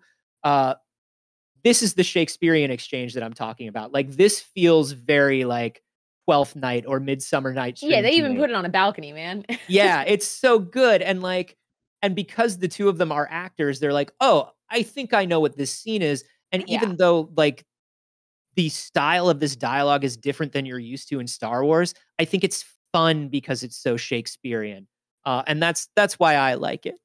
I don't dislike this exchange at all. I actually think that this moment between them is very sweet. And I think the way that it feels different from Star Wars could be seen as intentional in that this is their little sneak away moment and their break from the Star War. Um, this isn't supposed to be happening. This isn't how they're supposed to behave. None of this is placed within the universe we understand because it is a breaking of the rules. Um, and I think that that's very cool. But this does start an incredible arc where for the next approximately almost two full hours, Natalie Portman will only exclusively talk to Anakin and ask questions about how Anakin is feeling and what Anakin is going to do. And this is so far from passing. Go for it. This is so far from passing the Bechdel test. It like it doesn't check a single box. To pass the Bechdel test, you only have to pass one of those marks, and it doesn't pass a single one of them. Yeah. Uh, it's this is a bummer, and we'll talk more about some of the stuff that was taken away from Padme and Barrett. You can certainly speak to that uh, as you've been rewatching stuff, but there's a lot of Padme that was uh, that was changed as they were recutting this film and reshooting this film, and I and I think that the character did suffer heavily for it. Uh, this is where we get our first dream sequence in all of Star Wars and it's really problematic i think to the uh, yeah. the core concept of like i know a lot of people joke about midichlorians and it's like oh episode one kind of ruined the idea of the force and all that stuff and like to the extent I, I i'm with them on that but i think that this is really where it started jumping the shark in a way where it's like so I understand that the prequels, for all their issues, have this overarching story with uh, Emperor Palpatine kind of controlling everything behind the scenes, and it's his rise to power. And it's an actually really cool story if you were to just tell people like the highlights and cut all the bullshit, but just talk about Palpatine's kind of rise and what he did and the trade federations and all that. It's like this is way more involved than I would have ever thought Star Wars would be. Mm-hmm. But then for it to culminate in so many seemingly random things having to happen and resulting in Padme being pregnant, going to have the kid, Anakin getting these visions, and then Palpatine knowing about this and playing on that information with him with the whole opera scene we get to later. It's like, I hate that all of it could be written away and logically like, oh yeah, well he just kind of like made that all happen uh, in his head to Anakin. It's like, well, we don't see that. So this comes yeah. off as like very you're writing just to to write yourself out of another hole to write yourself into the next plot point and like i just really don't like that. Yeah we get into we definitely get into a moment uh, into some stuff here where um where the characters stop interacting with each other like like normal people will will. These conversations begin to turn into conversations that that sort of advance the plot more and and you're you're right even though palpatine is very is just so 10 out of 10 perfect in this film. We have not seen this sort of thing from him. We do not get any idea of the scope of his power until sort of act three of this film. And we're missing that. We're missing these machinations. We're missing we're missing the witches over the cauldron. You know what I mean? If this is going to be Shakespearean, show me a little bit of what of what these guys are doing other than yeah. move this guy over here show me mm-hmm. a little bit more of this power in action and show me some more of your influence over people and I, I totally get what you're saying and it's interesting too because you know they play it up throughout this entire prequel trilogy like all right, you, you know Palpatine is the bad guy. Like you you know this guy from episode 6 and we're going to like have fun with that. But then like when it comes to actual like, you know, plot points and like character arcs and stuff like that and like uh, things that would help actually progress the plot and not be reductive for mm-hmm. things like they don't play with that at all like let's get an, a you know a 10 out of 10 ian mcdiarmid uh, scene where he's like putting the dream into anakin shit like that and like uh, yeah. you could have had fun with that but like when you know those moments matter to play with that they didn't take those chances which i just find again I, I lucas needed you know not a bunch of yes men helping well, make this especially movie. like in a movie that talks so much about like figuring out what the nature of the mysterious dark side of the force is uh, we know that the light side is about into we know that the light is about intuition it's about uh sort of like the manipulation of objects. You can manipulate people but you try not to. Like we we've seen what the light side sort of shows itself as you know, in the original trilogy, we see the dark side as like a little bit of lightning and uh, you throw air conditioners at your son, you know? So, like, we don't know the extent of it yet. Showing some of these more manipulative powers, I think, would have been a very cool way to go. And they do. They do go more into the nature of the Force and the dark side and how the dark side can use its powers in the Clone Wars, in things like the Mortis series and, and stuff like that. So um, it does get explained later. And a lot of these things, you know, with hindsight and with with the additional canon, do become better, you know, but we're talking about the movie on its own here. This is, of course, the dream of uh, Padme screaming for help and dying. Uh, Anakin gets up in bed. It shows off a sweet fucking hero shot of that robot arm, man. Yeah. I know this scene's not yeah, about that. I know that scene's not about that, but when he gets up and he's like, "Oh, I had a bad dream," and it's with a robot arm, I'm like, and just those robot arm. ridiculously yeah. big pecs that like they, I don't think we ever see ever again. But besides this hopefully shot, again we will. Yeah, hopefully, it's like Jesus Christ, this is a this is a shot uh, right here. Yeah, and in and in you know in in direct opposition to those giant pecs, can you believe how much how much muscle mass Thor lost to be in this movie? When she comes out to the when she comes out to the to the porch, their cool porch with all their Philips Hue lights. Um, she comes out and Thor has lost like 40 to 50 pounds of muscle. Um, this is sort of the last the last scene where we see what I think up until the end is a little bit of Padme acting like an autonomous adult in a relationship, saying things like, "How long is it going to take for us to be honest with each other?" Right? This is where she's saying like, "No, if the more you hide from me, the harder this gets." You know, and there is something to this where it's like, I understand how scarring your childhood was. I understand your I I understand your instinct to retreat. But we're married now. I'm going to have your kid. How long is this all going to be secrecy and lies? Um, you know, and that's where they get into. And she finally asks, like, hey, if you're so worried about this, if you really believe this is going to happen, do you think Obi Wan would be able to help us? And he says, we don't need his help. Which is wild because at this point, he hasn't really been offered anything yet. So mm-hmm. why are you already saying we don't need Obi-Wan's help? Obi-Wan's been nothing but dope as hell to you. So like if that line came after some of the kind of like insidious manipulation, like a little further along yeah. in the relationship with Palpatine, I would understand. But at this point you're just kind of being rude to Obi-Wan for no reason. Yeah, I the, think this is Sorry. I'm sorry. Go ahead, Barrett. Uh, it, it, like we're saying, like in the context of just this movie, it makes absolutely no sense. You know, when they're quippy buds, they're the best of fucking buds. But again, yeah. the like bringing in the full context, right? Like the last time, you know, Anakin saw um, someone go to the Jedi Order when you know they were down in the dumps and you know the, the things were not going their way was when Ahsoka got kicked out of the order and then, you right. know, had to do everything she could and with him to prove her innocence. And then they were like, oh, well, you know, this was your, you know, this was your Jedi Knight training. Oops, that's on us. Uh, and that's why she eventually leaves. And so, you know, yeah. again, yeah. like they do everything they can in that show to like help uh, like boost this uh these these moments up of like in you know realistic yeah, in the but canon. I think like even, he's like I don't know if I can trust them with this. Yeah, and I think they even within just the context of this movie, we already know we already know his how much how much pride he has. We already know how much he wants to be a Jedi master. We mm-hmm. already know how much he wants Obi-Wan to see him as an equal and he just you know, just I'm trying to put myself back into this like you're 19 and you're just like 22. confused. Beautiful. He's 22 now in this yeah. one. Okay, he's 22 in this one. Then never mind. Everything is done. nope. Yeah, grow the bullshit. No, oh, uh, no. I still try to think about this. Like,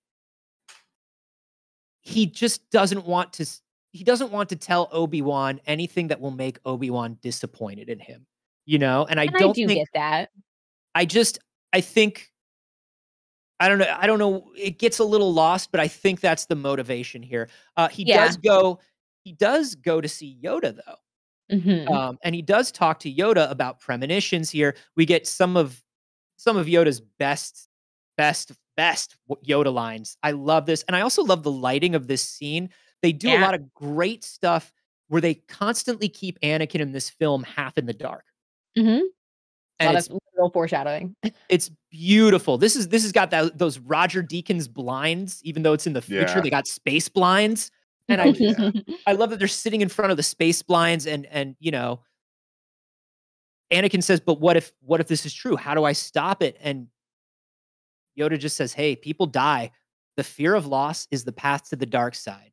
You know, mourn them, do not miss them, do not train yourself to let go of everything you fear to lose."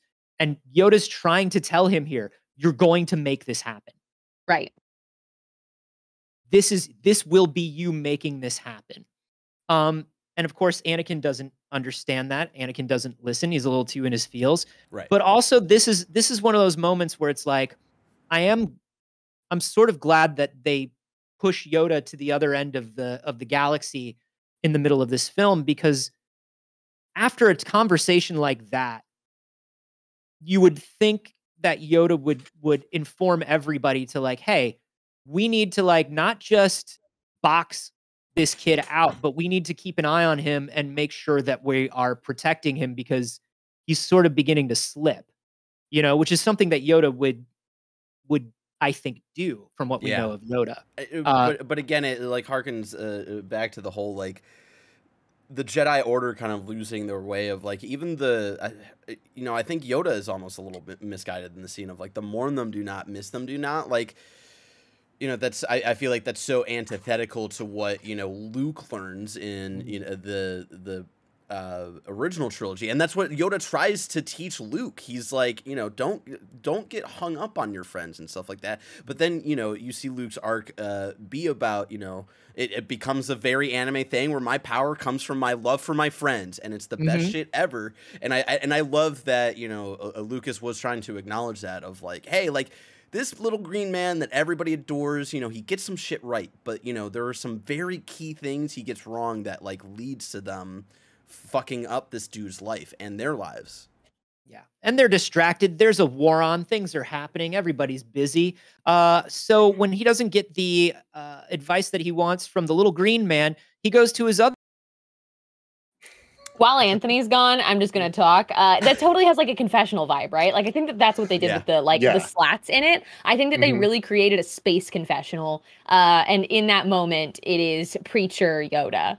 Yeah. Yes, hundred percent. I'm gonna hear and your I... confession. Do your penance. I have nothing more to say. right. Yeah. Yeah, yeah, yeah. Exactly. Get your head right with God. Uh, and when Anakin doesn't like that, he goes to see his other buddy, uh, Palpatine who says, "Walk with me in a circle around my circle room." And oh, we'll talk. Please, please, let's look. Dude, the amount of shots in this movie that are two people, I know everyone's talked about this already, that it's just two people walking, and, and that's the, all the movie is. Mm-hmm. It's more than that. It's two people walking, stopping together, turning and then walking another direction and then turning and just walking another direction within a space. Then it, if you follow their paths, it makes no sense why anyone would walk that way, let alone multiple people all having this understanding of stop and now turn and go. It's so bizarre. You know, uh, sometimes you're just walking. Maybe it's space. Man. You're right. You're right. These are space rules we're dealing with. Very different. Uh, right. But of course, Palpatine gives him gives him a little bit of the uh, of the things that he wants to hear, which is like, hey man, they, you know, I trust you, I understand you. You know, the Jedi, they they're not listening to you. But listen, I want to give you a little a little promotion for being a good boy. Mm-hmm. I want you to be the eyes, the ears, and the voice of the Republic on the council for me. You're going to be my personal rep on the council. And even Anakin at this point goes, uh, do you have any jurisdiction over the Jedi Council? Like, are you allowed to do that? I would imagine because they're so involved in the, um, you know, in the army and like essentially mm. being uh, generals and stuff like that. Like, I, I, imagine he does in wartime, especially like have yeah. some sort of say, right? But you know that the council is not going to like that because the council is like, my guy, keep out of our council. This and is Obi-Wan, council business. In the scene immediately before this, that very, very short scene in between the two that we talked mm-hmm. about, he literally just passes by Obi Wan, and Obi Wan's like, "Hey, be careful with Palpatine," and that's it. Yeah, yeah, that's totally. it. Yeah, there's a lot of there's a lot of like, "Hey, man, I don't like that dude," and you know, Anakin just being like, "Okay." uh, There's no reason. Not with Obi. I understand doing it with the council, but specifically with Obi Wan, who's like just doing his best. Yeah, and I, I don't want to dwell on this too much because I know it's just like it sounds like I'm just being negative and like pit, nitpicking everything. But I think the problem is like the whole story. Like we had to do the Palpatine thing, right? He is mm-hmm. behind mm-hmm. everything, and like every single event, he kind of has to have his hands in to get us where we know we need to be, which is Anakin turning into Darth Vader. The prequels right solely exist for that storyline of Anakin yeah. becoming Darth Vader.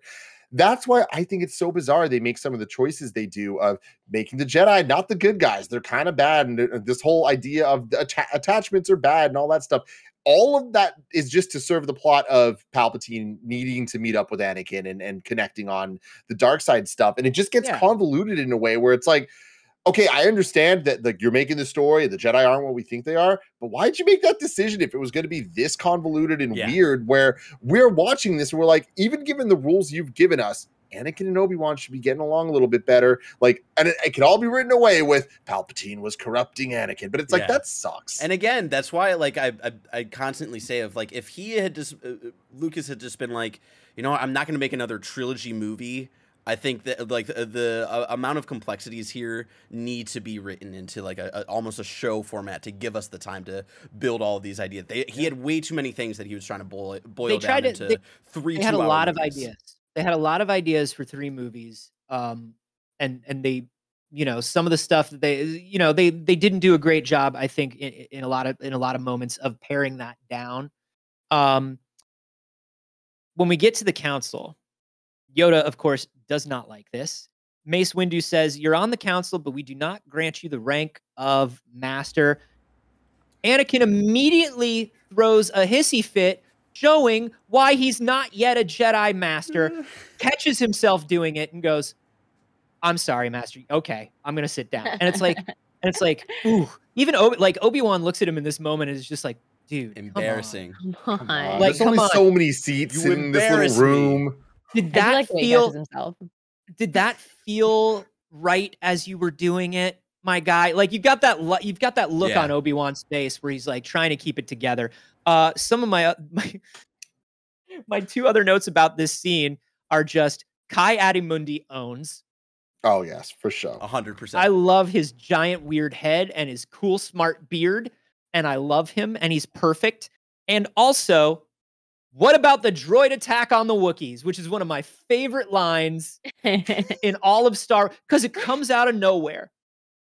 What about the droid attack on the Wookiees? And I, I'm sitting in the audience the first time going, oh shit, there's a droid attack on the Wookiees. oh, nice order of business.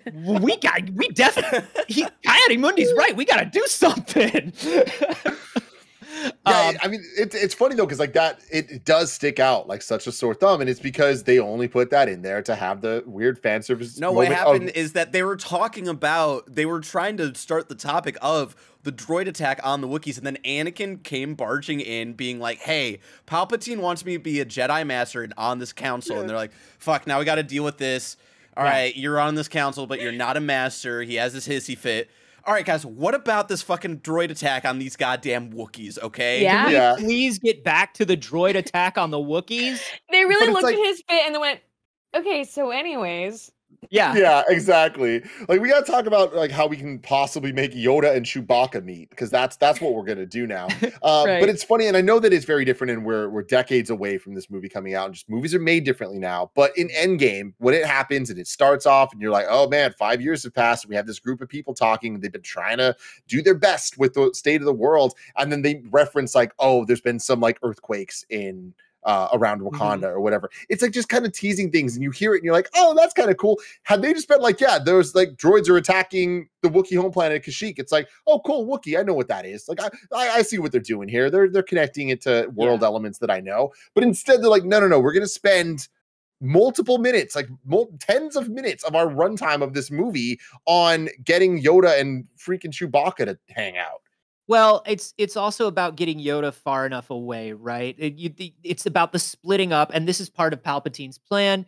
It's part of it. It's split the Jedi Council up as best you can, so they cannot work together and they do not have each other to rely on. Um, so from that from that perspective, I do see it. Uh, something that was cut originally, Yoda uh, does not go to Kashyyyk uh, and uh, uh, Obi Wan does not go to Utapau before Yoda, Obi Wan, and Mace Windu all talk about Palpatine and the Jedi Temple, and they actually say it's possible that Palpatine is this Sith Lord that we're looking for. And Yoda says, "Look, that may be true, but he's now the most powerful person in the galaxy." And we better have proof if we're gonna if we are going to God. say that. Why everybody. would they cut that? That is that could have that would have filled so many holes for me in this movie. Mm-hmm. When you have people like Yoda and you have people like Obi-Wan, all of these extremely powerful Jedi masters, and people can stand in the room with a Sith, Sith Lord and just be like, I don't know what's up with that guy. No, yeah, no, and course. especially even adding all of the Clone Wars and adding all of the the extra content here, it's like we see that when something happens, these characters feel it through the Force. Like Barrett was talking earlier, we see Darth Maul feel it. We see all the like constantly in the Star Wars franchise in every iteration we've seen when something bad's going on, every character that is of a certain power level is like, oh shit, something bad's going on. Right. And like it's just so weird that they they treat it like this big mystery up until the very last minute. Like it almost feels like I know it's a little before this, but it almost feels like Mace Windu has to be reflecting the lightning back to Palpatine before everyone's like, oh, okay. He's standing like, there over him like Wait it's definitely minute. him. yeah. Now ripping the mask off Scooby Doo style. Now we do get in this scene a little bit of something that serves the same purpose as that conversation. You know, Obi-Wan catches up to Anakin and is like, "Hey man, I know they didn't make you a master, but nobody as young as you has ever been on the temple before." Obi-Wan is like, if you've ever been young at a big company or something and you've got that you've got that person who sees your talent and they're like, "No, it's all coming and I know this is run poorly, but if you be patient, I promise it will happen. You're young and you don't understand how the industry works, but this is very good for you. And of course, you're young and you go, fuck you. This is garbage. I deserve the promotion. This is that conversation right now. Totally. And he's saying, look, you just said that so well, though, Carboni. I appreciate that because it's like again talking about these movies. I think that it, we we can make them better in some ways, and I think that, that there's there are bones here. There are things to mm-hmm. kind of build upon. I just find it frustrating that Anakin's story of the first movie was sorry, bro, you're too young. And now the story of this one is sorry, bro. Like, you know, it's like, what? How is this still the same type of like? Because look at how large your head is and how many beard you have to have before you can be on the Jedi Council. His head is neither large enough nor is his beard full enough. Can I give I, sorry, I said it backwards. I meant episode one was he's too old, and then episode three oh. he's too young, is what I was trying to say. Well, right. he's too old to be trained, too young for the council. Always a bridesmaid. Exactly. and they made the rules. I've got what I think is maybe a Jedi Council hot take. Maybe it's not. I don't like Mace Windu. I think Samuel. Jackson is mm. terrible in this oh, movie. Oh, yeah. I think he is distractingly bad. And every time he speaks, I'm just like, Jesus Christ, man. Are you reading it off of cue cards? Yeah. And, and Have you what... never seen the script? You didn't see the last two movies. You didn't watch them back. You had no interest in remembering what your character was yeah. about. You had no interest in knowing your lines. It's and that's what that's usually my example of when I talk about of like people want to like throw Hayden Christensen under the bus, uh, Natalie Portman, who we know is a great, a- fantastic fucking actress, and you know I don't think it's any of the fault of the actors the guy who directed all three of these movies is a robot and who does not know how to direct people. No, he took okay. himself off of Empire. Oh, no, oh, all right. Is. He took himself off of directing Empire and Jedi because of his experience with Star Wars and him not understanding how to deal with these three kids he cast in his like experimental sci-fi uh, like startup movie and he was like I can't like I can't keep being like on the human side of the directing stuff. And the like and that's why I make the argument of like it's not you know Christensen's fault. It's not um you know all of these actors' fault because yeah George Lucas doesn't know how to direct people. When you make uh, Samuel Jackson, the guy who fucking I'm yells, "I'm tired of these motherfucking snakes on this motherfucking plane," the most boring person in your so fucking stiff. trilogy. That's not on the actors. That's on George Lucas. Here's what I will say: I think Hayden Christensen and Natalie Portman and every other actor in this movie performs better than Samuel L. Jackson does. I think every performer in this movie uh, does better than Samuel L. Jackson throughout. Every is, line that he reads sounds like he is speaking for the first time ever. It is, is Mace wild slander, to me. yes, it is Mace Windu slander because I think Mace Windu sucks. I'm, I'm sorry. moving on. Now, Mace, now Mace Windu sucking is a different thing, and we can talk about that. But I will Mace not take Windu this. Sucks, and Samuel L. Jackson sucks as Mace Windu. Uh, the scene ends. She's not wrong. The scene ends with Anakin being asked by Obi Wan to be a little secret spy boy. And now Anakin's been asked to be a little secret spy boy by both sides, and he is torn. Uh, now, Mace Windu, who apparently sucks, says, uh, says it's very dangerous putting them together. I don't think the boy can handle it. I don't think the boy can handle being in such in such close proximity to the Faustian man. Uh, and then they go, Well, wait, is he not the chosen one? And Yoda goes, Well, you know, you can misread prophecies, my guys. And there are, there's more than one way to bring balance to the force. Which is so important. I love this. and, and, I love that, like, they've known about this kid for a long time. Qui Gon Jinn picked up this kid, has this mm-hmm. inkling mm-hmm. that he might be this kid, referencing this prophecy. And what is it? How old is he in, in uh, Phantom Menace? He's like nine right? Yeah. Oh, 13 yeah, I think, years yeah. later, they finally are like, maybe we read that prophecy wrong, you know? That's like, so what? funny.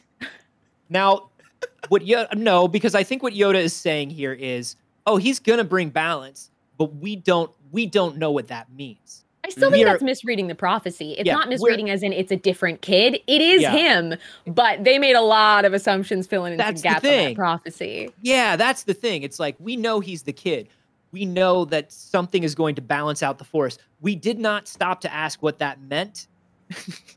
We've always read it this one particular way because remember, this whole this whole trilogy is about the Jedi being stuck in their ways and uh, being able to, being able to not sense that the Jedi temple on Coruscant is actually built on top of a massive Sith temple, which also is not brought up in these films, but like it's pretty important so like it, it's in you know looking back the fact that the shrine in the depths is down there under Coruscant, and it's kind of the reason Coruscant and the Jedi Temple thrived so much is because of the energy of this. Anyway, moving on. Um, what I'm saying is there are reasons for it all, and once again, we love the expanded canon. Yes, absolutely. um, so then we get a conversation between are two star-crossed lovers, these young, secretly married Romeo and Juliet. I think the war is destroying the principles of this republic. And what if the republic is evil? asked Natalie Portman. turning and looking directly at us in the year 2022 through the camera, yeah. just like, do you understand? Do you understand what we were saying back? Okay, 17 no? years right. ago. Yeah. Okay. Right. We All want right. to talk about how this guy, you know, was able to to profit off of, you know, the uh, complications of modern politics and then rose to power. Hmm. Hmm. It's almost like Padme's always had a point. Again, Lucas had the he had the ingredients there, y'all. He was so close. Uh, and of course, this ends once again with the with with Padme. Don't shut me out. Let me yeah. help you. In her worst hat. In her, oh. well, she didn't have time to fully yeah. brush her hair. I just think like like Padme looks are everything the yeah. women of the galaxy serve on a level that no other franchise does in my opinion and mm. um, they dropped they dropped this one a little bit is this me. the one oh. where her she kind of has the leia buns a little bit she has the, up? She has the Leia buns when they reconnect uh, immediately when he comes back from the war and they haven't seen each other in months. That's gotcha. her Leia buns. okay. Uh, this one, she's smaller buns and she has like a brown tiara essentially that covers the majority of the top of her head in a very strange way. It almost blends into her hair, but it's metal. Hmm. It's not a choice. It's fine. It's it's one of the more interesting choices. Yeah. Um, Anakin chewing on this uh this stuff that his his wife has supposed, but not really, heads to the theater uh to meet a politician because nothing bad can happen to a politician at the opera. uh where everybody is apparently everybody is apparently pondering their orb. Mm-hmm. Dude, this is the moment of the movie that if you've made it this far in, you're just like, I am in. Yeah. I'm in, guys. Like they've got they're committing to what this is, and it is what it is. Yeah. You're either gonna you either decided you hate Star Wars at this point or is you love this McDiarmid. Shit. Yeah, it, it, it is completely is. Ian McDiarmid. Where they used this line, one of these lines in the trailer. Again, granted, you know we didn't know at the time of the quality of this movie, but the trailer for you know uh, Rise of Skywalker like ha- like pulled some of that stuff. Um, the like whole unnatural line, like oh. Hmm. So good. There's again so when you talk about stuff. the teasing of like how little we know about like what the dark side has access to of what that shit can do, just like the little tidbits here is oh, it's so good. Yeah. So he uh good boy Palpatine is watching the drone orb because it's just it's just like this weird droning but like if you look at the orbs of water that are floating, there's some sort of like rhythmic swimming gymnastics thing that's sort of happening. But there it's just the music is just this drone and people are just staring unmoving at this orb. This is a very unsettling scene and I enjoy it a lot. Um Palpatine goes very it goes, "Hey, I have good news. Come closer. Everybody leave us." Grievous is hiding in the Utapau system. This is great. This is wonderful news. And then he says, you know, they start talking. He goes, Come, sit next to me. He goes, Oh, they asked you to spy on me, didn't they? Oh, I didn't want to I didn't want to do this to you, but I am afraid I'm just going to have to tell you the truth of the Jedi. And the thing is, they want control of the Republic. They clearly they clearly want to take over the Senate and remove me from power, and they want to run everything, and they want to have a totalitarian regime. And boy, oh boy, it's bad. Boy, oh boy, it's bad. And you don't like spying, do you, bud? You don't like spying. And Anakin goes, You know, I got to admit, I got to admit, it made me feel bad when they asked me to spy. And he goes, I know, I know. Ew, so gross. It's a shame they don't like you the way I like you, you my special little guy. By the way, just you know, just to let you know, if you did perhaps theoretically know someone who was going to die, maybe the dark side was the would be the only thing that could save them. Maybe. Do you like the drone orb? Because I know the drone orb. I can get you a signed 8 by 10 of the drone orb when all this is over. who's your buddy? Who's your pal? so, like, real talk, what is the explanation of him knowing about Anakin's situation right now? Um, now, he, he does not. He is simply bringing up a conversation yeah. about good and evil, right? Because Anakin says, "But the Jedi are good people," and he says, "Hey, good's a point of view." You know, here's the thing about the dark side of the Force. You know, the Jedi are so locked into their own thing, they don't know what kind of stuff the dark side can do. Yeah. Did you ever hear the tragedy of Darth Plagueis the Wise? And he uses, I thought not. You, you know, he uses that story um, to t- kind of compare them of like their power, like they're like scared for losing power. Essentially, yeah, that's how he's. I, that's how he subtly transitions over to like you know, you can. I see Tim's face. Tim's face is like, what do you mean he doesn't know? Because I absolutely think he knows. I agree. No, he does uh, know, but he's acting like knows. he doesn't. He's acting like he doesn't, but like but very poorly. Well, because he's uh, the so, one that's putting the dreams of um, Padme dying into Anakin's mm-hmm. uh, head. But once again, what okay, Tim is saying, so what no, no, Tim is saying, how does Barrett, he know that she's pregnant? What Tim is saying, Barrett, is yeah, that's an assumption that you're making. You cannot get that information from the film. No, that's a hundred percent. That's correct. Yeah. yeah, no. So that is, I'm actually like all bullshit aside. I'm trying to clarify here. Mm-hmm. In any of the extended canon and anything that we know from this movie or otherwise, are we supposed to be under the assumption that Palpatine is putting these visions into the mind of Anakin about his wife who is pregnant and who is going to die? Yes. Because that is, is there anything that confirms that? Yeah, because there's nothing in this movie that ever gives us any reason to believe that. Is there anything in the extended canon that does? Or is that something that fans are guessing? I this need is, to look. I could have sworn that that was either in okay. a comic or something. I'll, I'll got it. I'll, I'll double check. In addition source. to this, I mean, I think it's obvious how he would know at least that Padme's pregnant and know to prey on that. It's because he is a significantly stronger and better Force user than all of the Jedi. And when there's a, a Jedi around, in you know, literally like in this pregnant woman, he can sense it because Jedi are supposed to be able to in every reasonable sense, you're supposed to be able to sense when something is changing within the force. So it would make yeah. perfect. It would it would absolutely explain everything to me. I have no qualms with him being able to identify like she pregnant with some Jedi mm-hmm. from afar. A thousand percent, you could feel that. How every other Jedi in the world currently can't. Not so much.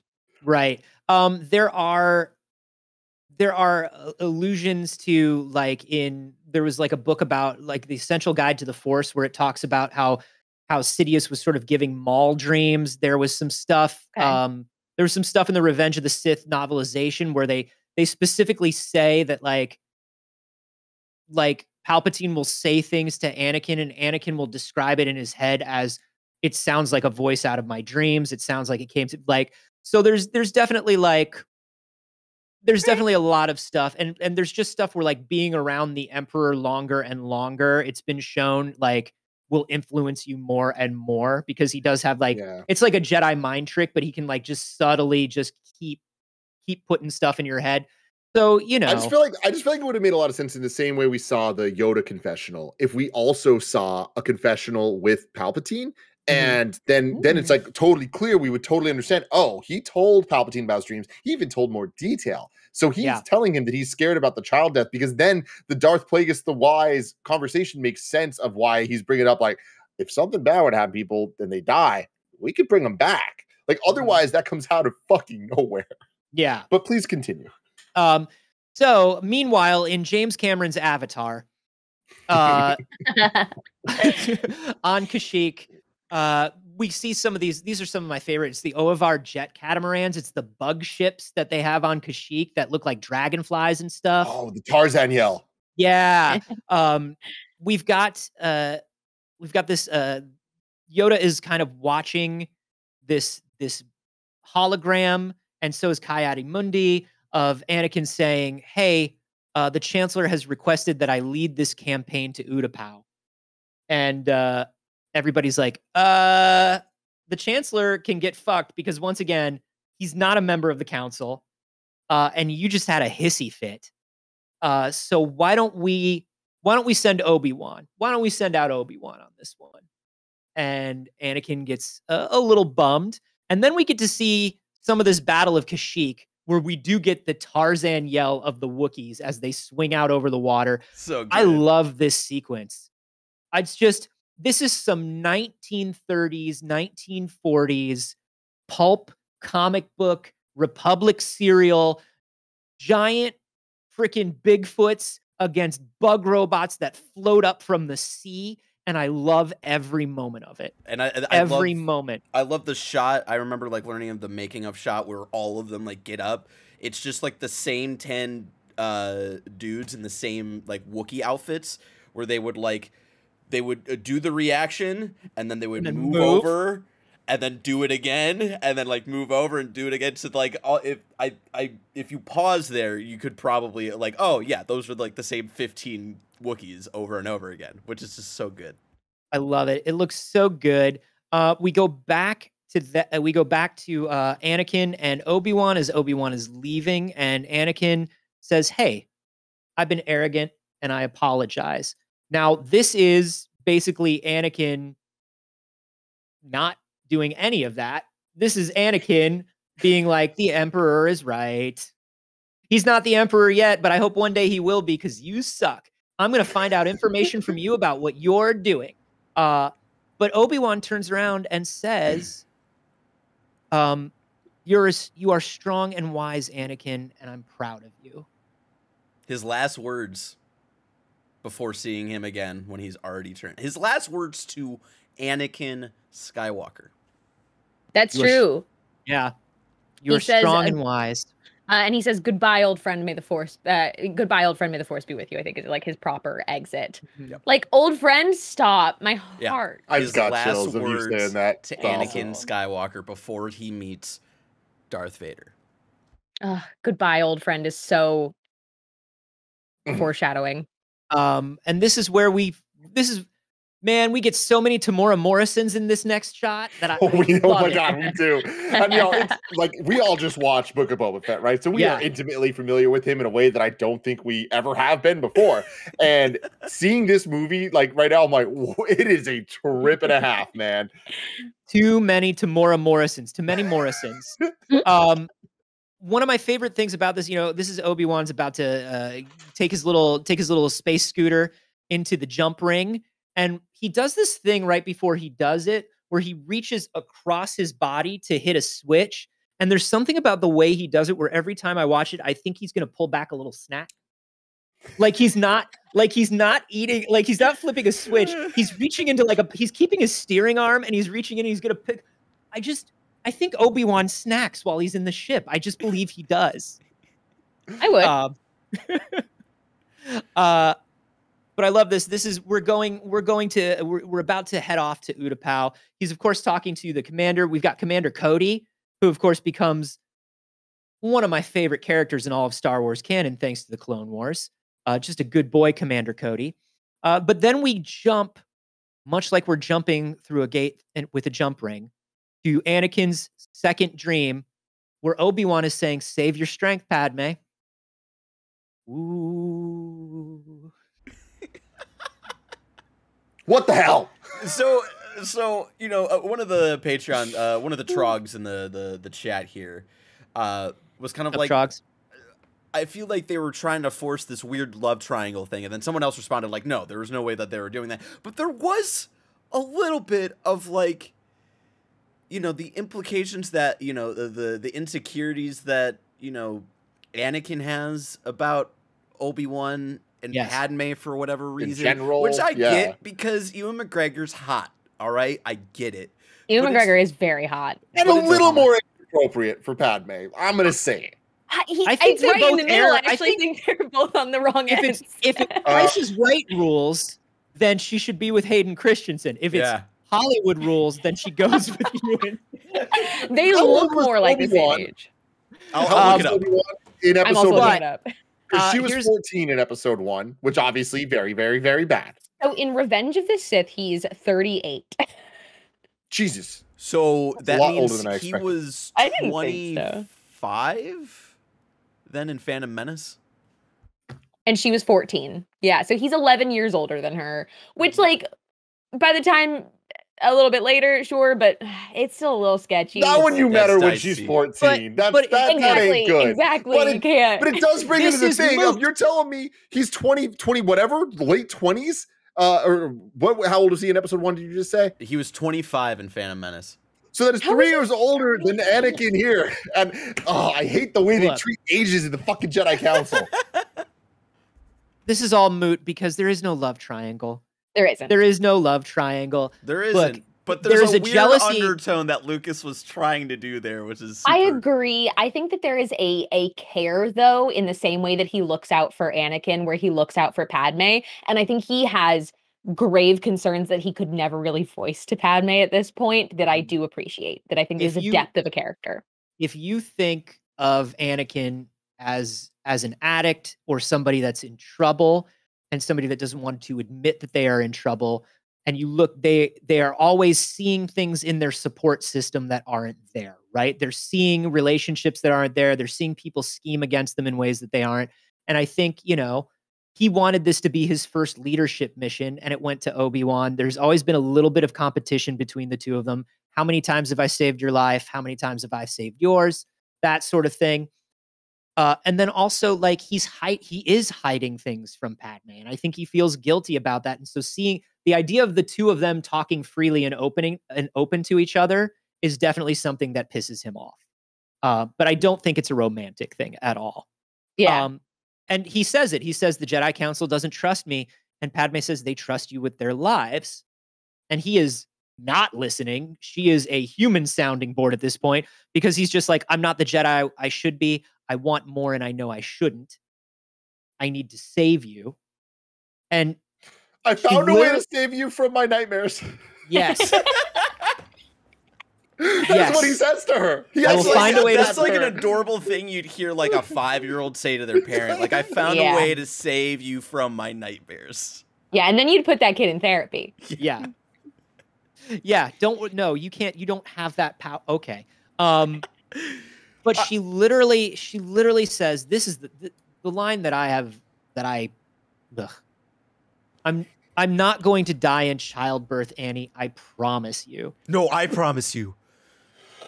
Which at that point, so intense. At that point, I feel like she should have gone to someone to be like, "Yo, Annie's in a Yo. fucking way." Yeah, yeah, he's he's messed up good. But they have reduced her to an opinionless lady. She is now just a baby carrying machine. She is only vehicle for babies at this point. Because now we care about getting Luke and Leia. Padme is no longer relevant to this story. She is simply an object to be lost and a vessel to carry future Jedi and then die. like that's all the story we have for her, so she has to die. Well, we'll and we will oh, definitely oh, get there. I can't wait to get to that. But also, did y'all know that Utapau is made of bones? That's cool. Mm. Utapau's got Utapau. They got buildings made of bones, and you can land on them, and you can hang out with them, and you can just you can hang out with the, dudes with weird teeth and corduroy faces, and they'll come up to you, and you can say, "Hey, uh, what's up? I'm just wondering if I can like uh, if I can hang out and do some stuff for the war." And it's like, "Hey, there's no war here, buddy." unless you brought it with you. And then they're going to lean into you with their weird, pointy candy corn teeth. Yeah. And they're going to say, he's here on the 10th level. They're all here. Now, Carboni. Yes. I feel like we had this conversation maybe in our reactions to the the Kenobi trailer recently. This is the same. This is the same uh, race of dudes as the race. Grand Inquisitor, right? Yes. Okay. They look a little like it's they're made to look insanely untrustworthy, which I find interesting in this scene. For a movie that indicates so much visually, it's so weird because, I mean, and maybe this was by design, but when they're like, oh no, they're here and they're on the 10th floor, you've got to help us. I was like, double crossed. The first time I saw yeah, this movie. No. I mean, the 10th time I saw this movie, I had the same feeling where I was just like, God, there's so much shit of like, Palpatine's clearly the bad guy, but nobody knows it. But this bad looking person is claiming that he's on the inside secretly, but is he really? I don't fucking remember.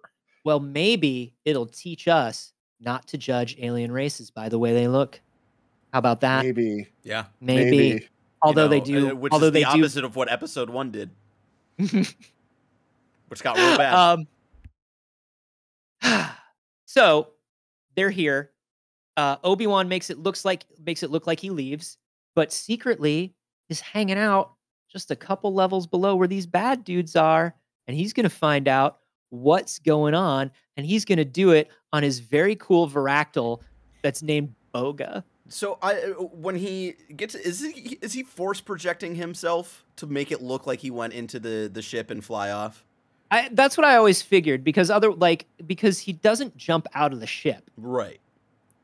Like you see him get into the his uh, Jedi uh, starfighter. The robot men, the cool looking robot men, are looking down at him in his little Jedi fighter.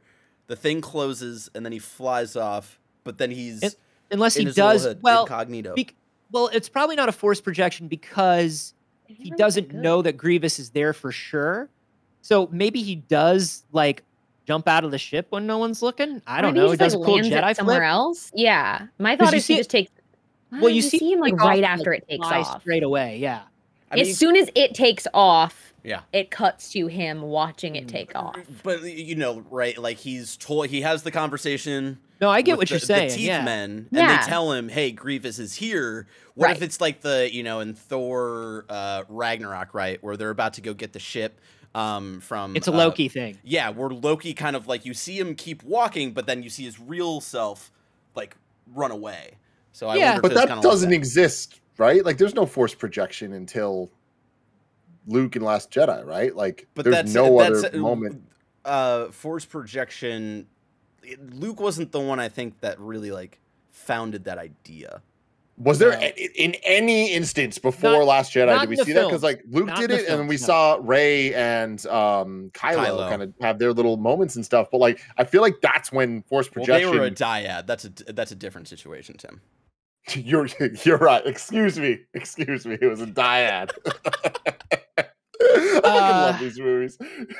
So, uh, on his Varactyl named Boga, uh, he starts starts sliming around on his good little lizard. He's riding a Gex around on Utapau on the Bones planet. He's got a lizard in the planet of Bones, and he rides up into the rafters where all the bad boys are meeting.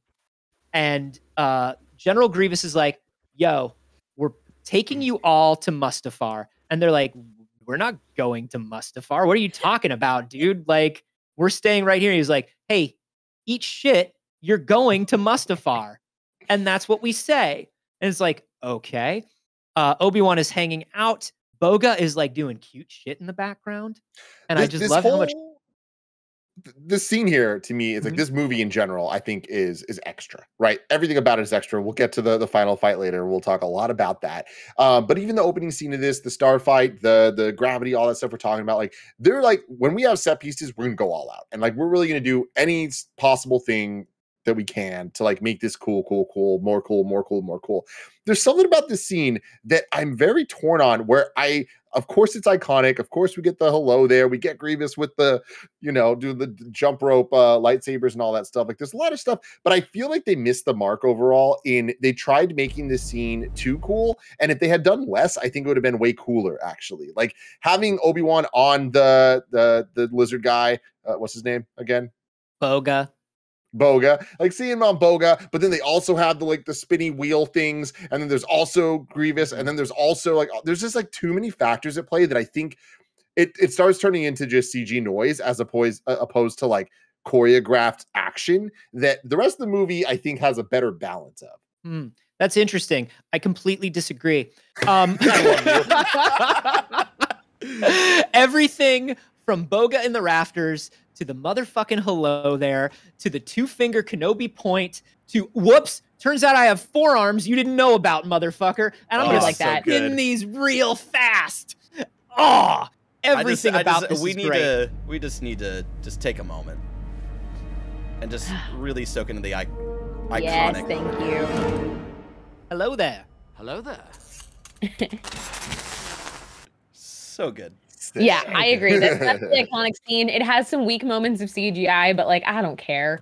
I don't care, dude. That's that's Man, like very CGI heavy one, and it's 2005. Full pass for me. Our lost hand count goes up to four, yeah. which is such a good thing for Star Wars. Ugh. I look the force the force saber moment gets memed to hell, but it's so fucking cool. You get Cody and the troops dropping in you get like those close up shots of their eyes when they're fighting like a samurai movie. Like it goes totally Yojimbo. And the amount when, like, of Grievous... unnecessary detail in Grievous's eyes as well. It's one of those oh, shots that's still so tired. Barrett. To this he's day, so tired. Seventeen years later, you're like, God damn, they put a lot of money into that shot. I think they did Ewan McGregor a little dirty on the fight training, the lack thereof. Yeah. Um, I am of the opinion that he did his damnedest and he still looks very cool in many areas.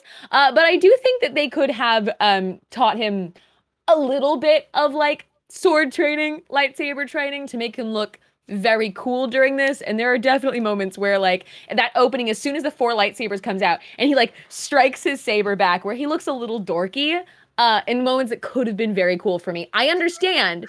I know. but it's fingers. a moment that could have been very, very cool if it was like properly choreographed. And it's a it's a little clunky, a little dorky. I'll say this. I love it, but it could have been better. When you look at when you look at Ewan's fighting against human opponents who are there in this film, I think he's very good. I think he had the training. I think it's probably weird to fight a CG thing that isn't there. And yes, they they could have they there's they probably could have done some stuff to clean that up in well their their answer to it was to put yeah. him in more cg things like the lizard and the spinning wheel thing and i think that's a disservice to this because like Yo. as cool as the four sabers are they don't do anything cool with it. He does his little spinny thing and then they go yeah. away. It's like Darth Maul, it's like, oh shit, he has two lightsabers. What are they gonna do? We get a whole ass fight seeing what he can what they what's going down with that dual-sided lightsaber. Yeah. Whereas with Grievous, it's like he has four lightsabers. Oh, he has two lightsabers. You know what I mean? It's like over that quickly. Spins them very fast, like no one can, Timothy.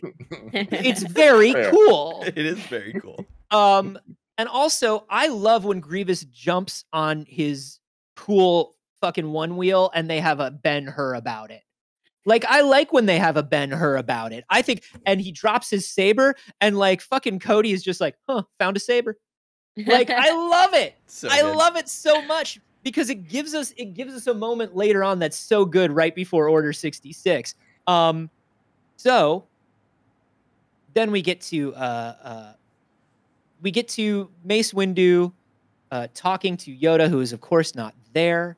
They're all talking. They're like, "Hey, I sense a plot to destroy the Jedi." No way. Uh, the dark side of the Force surrounds the Chancellor. Yeah. You don't say. And Yoda goes, "Whoa, whoa, whoa, whoa, whoa! To a dark place, this line of thought will take us." And he's speaking specifically about be careful before you say we are going to seize power and we're going to seize this government because that could backfire on us in a big, big way. Yep. And does Mace um, Windu take any of that in when he thinks about that? When he when Yoda says that, does he really really Maybe. digest any of you know his Some. good friend Yoda's words? No, a little. He does. I look, couldn't tell.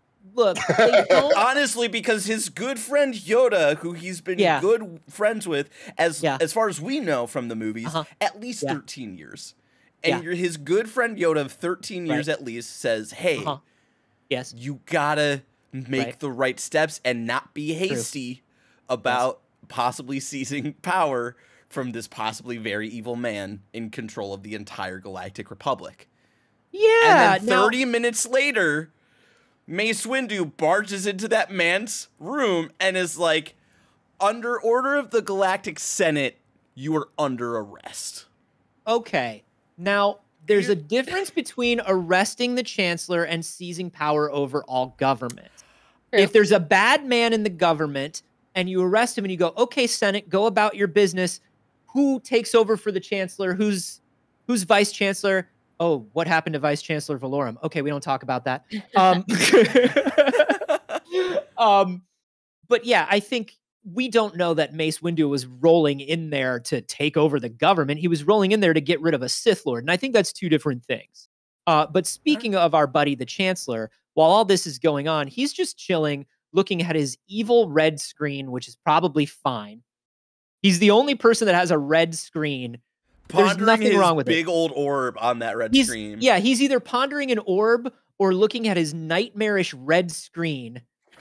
And Anakin walks in and is just like, hey, Obi Wan is on Utapau. I should be there with him. there are things about the Force that they're not telling me. And he says, Hey, let me put aside my red screen that's of no consequence. And let's take another walk, you and me, buddy. Let's walk down my cool hallway while I talk about, like, hey, you know, I studied the Force a little bit back in school in my wilder days. Before I was a politician, I was a little bit of a, a little bit of a party guy, and I did a little Force. Everybody does a little Force when they're young. Uh, and I know some stuff. And you know, here's the thing: uh, the Jedi have a very limited view of the Force, man. Like you, if you're gonna understand all of the Force, don't you need to learn a little bit about what the evil side of the Force is thinking? You gotta, you gotta take a larger view of this whole thing, man. You gotta hear both sides. You can't just ban people on Twitter for spreading racist misinformation. You gotta hear them out. Otherwise, it's not free speech. And Anakin goes, Hey, wait a minute. Are you the Sith Lord, though? after all, after everything. Hang now, on just, a minute. Now, just wait a minute. Are you the Sith Lord?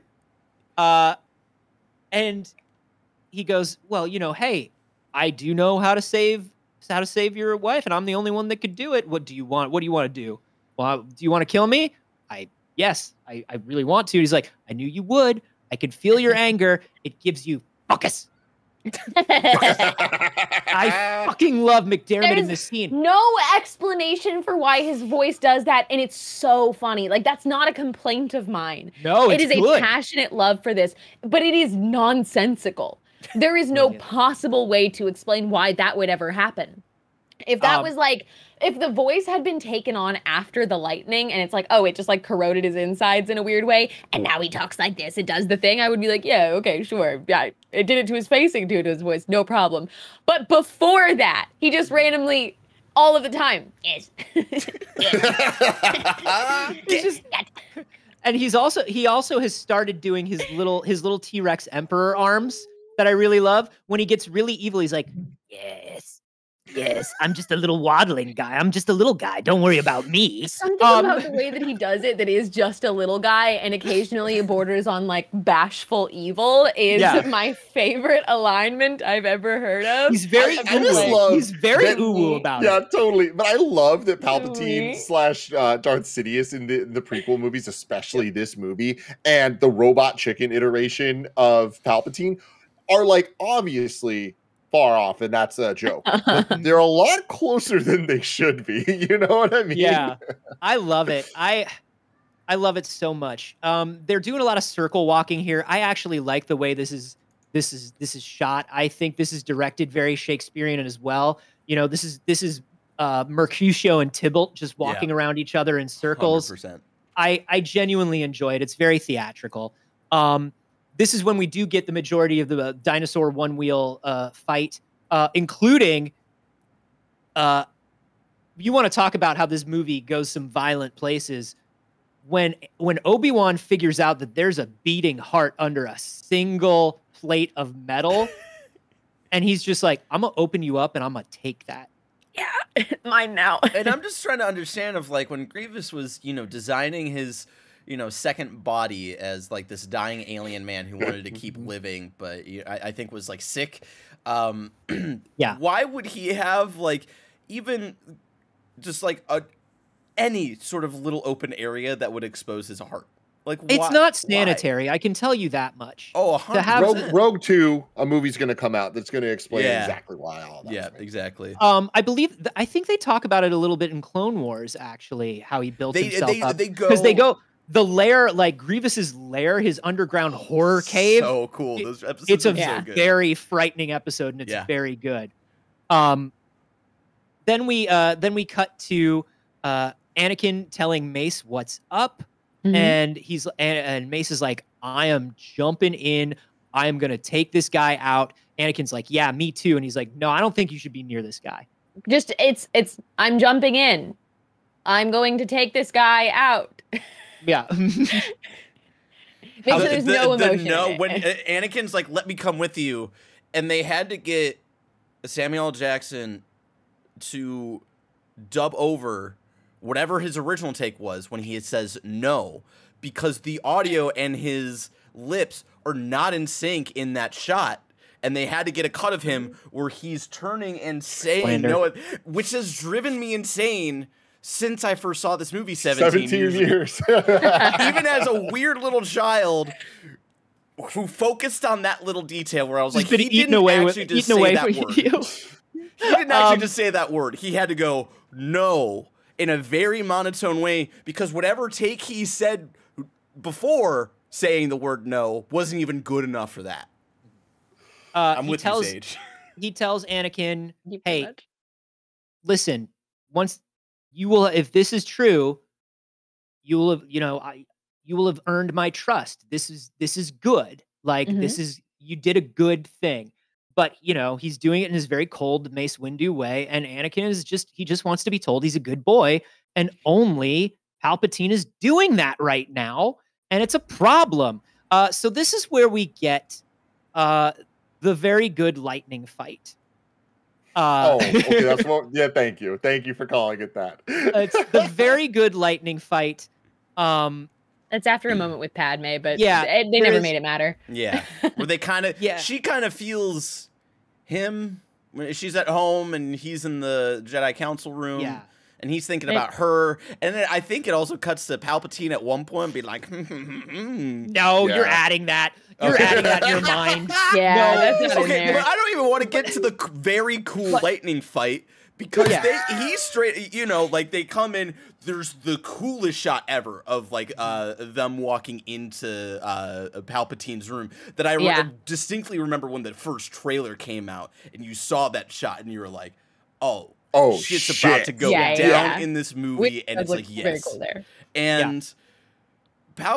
Palpatine also, you know, I understand Ian McDiarmid been playing mm-hmm. Palpatine since yeah eighty three.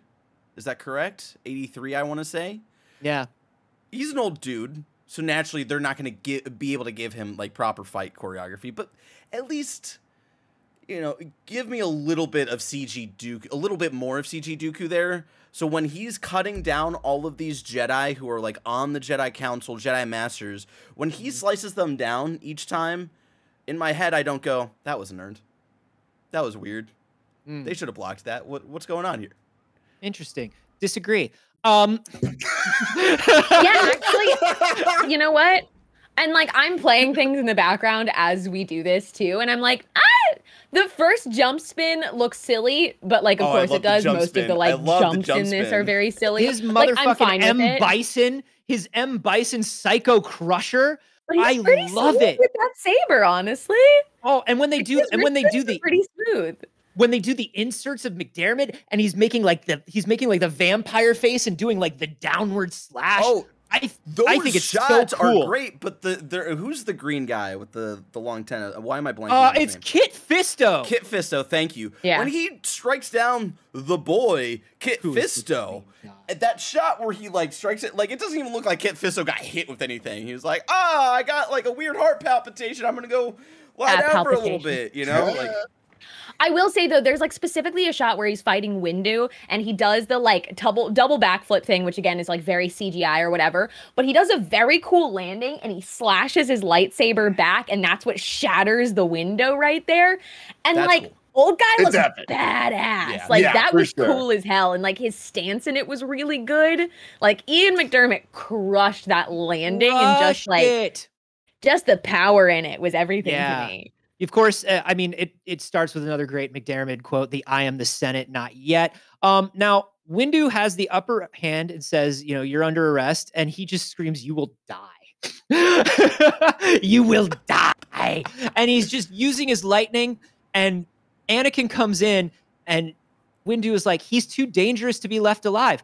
Remember, this is something that Anakin did himself. Yeah. In the beginning of this film and immediately says, Ooh, that was wrong. I probably shouldn't have done that. And remember, this is somebody, the Chancellor now is somebody that Anakin doesn't just see as a friend. Anakin protects his friends, but he also sees as somebody who has the key to stop his nightmares. Uh, and so there's no way Anakin is going to listen. But what I think, what I love about this is he's literally firing out so much lightning out of his hands that like Mace Windu is like falling backwards, but he's doing this voice. He's like, Oh, I'm so weak. I'm so weak, Anakin, help me. I'm so weak, he's going to hurt me. And I eh. just love the way McDiarmid plays it. And I love that Anakin is so blinded at this point that that's all Palpatine needs to do. Yeah. But there's like Anakin the on worst, his side. The worst bad acting. I'm, I'm so oh, I'm, so, I'm so weak. I'm falling and I can't get up. And yeah, yeah it's so I, I'm I'm I, obviously I fucking love the scene. It's ridiculous yeah. and it's the stupidest yeah. best thing ever. But like yeah. going back to the why they had to do this, and it's like we the fact that they had to disfigure his face and this is the way they decided to do it, I think is so bad on so many levels. Specifically, you're just looking at this scene. Why would that be part of this Palpatine's plan? Like if we didn't know that he had to get disfigured, mm-hmm. why would he decide I'm going to obviously be the one shooting the lightning out? And have Mace Windu be at me and be like, oh, it hurts. So I can't do it. It's like there's so many other plans you could have had that didn't uh-huh. involve disfiguring yourself. No, I don't think you shooting fucking was lightning. Yeah, no, I also I don't, don't think he was pulling out think... all of the cards that he had up his sleeve because you know I I, he, I don't think I mean, he fully expected remember, to be in that moment. Mace Windu got the upper hand, which which I don't think Palpatine saw coming. Yeah, and I think that he just used his greatest, his best defense and was trying to keep Windu from killing him. Yeah. Just long enough to get Anakin to kill Mace Windu. See, because if Anakin had not shown up, like it, Palpatine would have died. I think but, I think that would have been the end of Palpatine. Yeah, okay. I mean, I guess that that adds up because the thing that I don't buy though is later when he's like in the Senate or whatever the fuck, and he's talking to everyone. It's like they just figured me, and I guess that couldn't have been part Maybe of that's the plan. just jazz. Just, yeah, but I just yeah, that's no, just I hate jazz. You know, Greg this entire thing. You know, Greg is, oh, Miller. It's all part of the plan. Jazz. All part of the plan. You know, he, but, he it's like wasn't. When, it's like when we planned Star Wars Episode Three uh, rewatch for May 18th, and then we didn't realize until this Monday. Hey, the 17th anniversary tomorrow. You know, it's just yeah. he fell into a lucky kind of thing where I was like, I'm gonna play off of this. And he's like, you know, Oh, what happened to your sympathy. face? Oh, dude, the Jedi did this to me. Yeah, oh boy. I, I do have a question about the disfigurement. Um, if that is the effect of the lightning hitting somebody, mm. a we never see it do that to somebody again, even though we do see lightning again. Uh, is including immediately when he finally hits Mace Windu with the lightning, and instead we see Mace's skull show through his body for some reason, which doesn't happen when the lightning hits Palpatine. Yeah. Only happens when it hits Mace Windu. But Mace does not have the same effect on like the aging of his face very rapidly, uh, which is kind of funny. Sustained, I would say it's sustained lightning yeah. over a period was, of time. But he that, holds it for a it. while. But also, yeah. do we want to factor in that this could possibly not be? Actual Palpatine, but a clone of Palpatine. No, like... get fucked. I'm moving on. get fucked. I'm moving on. Yeah, uh, yeah, we gotta wrap this up, man. uh, so we have our fifth lost hand. We have the screaming of unlimited power. Uh, and what have I done? You're fulfilling your destiny. Hey, look. It's like, okay, I'll serve you. You can be my master. I swear that I will serve you. You'll you'll make sure she doesn't die. You'll bring her back to life. And this is where this is where Palpatine goes, "Hey, baby, bubby, I don't know how to do it. But you know, if the two of us work together, I'm, I'm sure, we'll, figure, we'll figure it out. And I think this is where you do get some you do get some solid performance, I think, from Hayden here, where he's like, Oh, I fucked myself and this is where I am now. Yeah. And I have no like I have no choice. He's probably I don't know if he's ever going to do this, but this is where I am and this is who I am. You know? Um now Yoda is feeling the carnage here.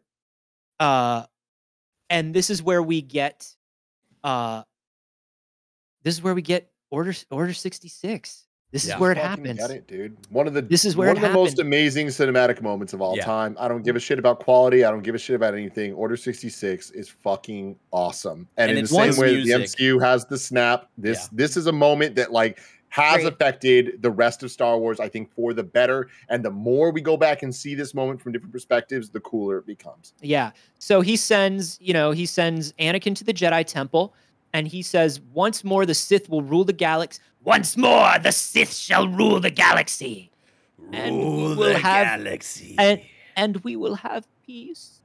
And I love the way he says it. McDiarmid crushes. Um, so now we're we see Kashyyyk and we see the temple at the same time, which which I love. Uh, we're seeing like the teddy bears, the spider robots. We're seeing Yoda actually feel the destruction mm-hmm. of the light, and it's throwing off his performance in this battle. At the same time, we're seeing Anakin and the clone troopers go in and and do this, do this moment. Um, I'll say it's not the kid's fault. The kid was very young, but I I've never enjoyed the performance of the youth who says who who says Master Anakin, what do we do? What you know, do like yeah. It's not the kid's fault. The kid was a kid. Yeah. Um, Lucas doesn't know how love to you, direct Carboni. adults. Like he's not I gonna know love how to that direct this- kids. For two hours and 15 minutes, every single thing Carboni is like, I fucking love it. I fucking love it. We get to And this kid. five-year-old. No, not good enough. this is where I draw the line on acting Yeah. performance. This did not Yeah. meet my Shakespearean expectations of episode three of Star Wars. I'm just gonna say it. This dude's on on Samuel L. Jackson's level. Wow. He- wow. there's about as much life in that line as Samuel brings for the rest of it. So Now- I'm fine with it. Well, but what I'm gonna say is I don't I I, I feel like they should have given that kid another take. I feel like that kid was just like nervous and he's a kid. But Yeah. what I do like is when Anakin saber ignites, I've always liked the scared little jump. Little Oh, stumble yeah. back. Like I it's think almost that's like the- very impactful. it- it- like Mhm. the the how they did it. It's almost like they didn't tell him that they were gonna like make a loud noise, and they got his Uh-huh. like actual yeah, because reaction. we know the kid's a bad actor. it's a genuine scared baby Oh, moment. man. And uh, sweet, Uh, and it makes this next scene even harder. Yeah. Mhm. Um, I will say, you know, Anakin leaves the clone troopers to actually fight Jedi's, and he just like goes in to mow down some kids, and I feel like that's not good management. I'm just Uh, gonna go ahead and say that. no.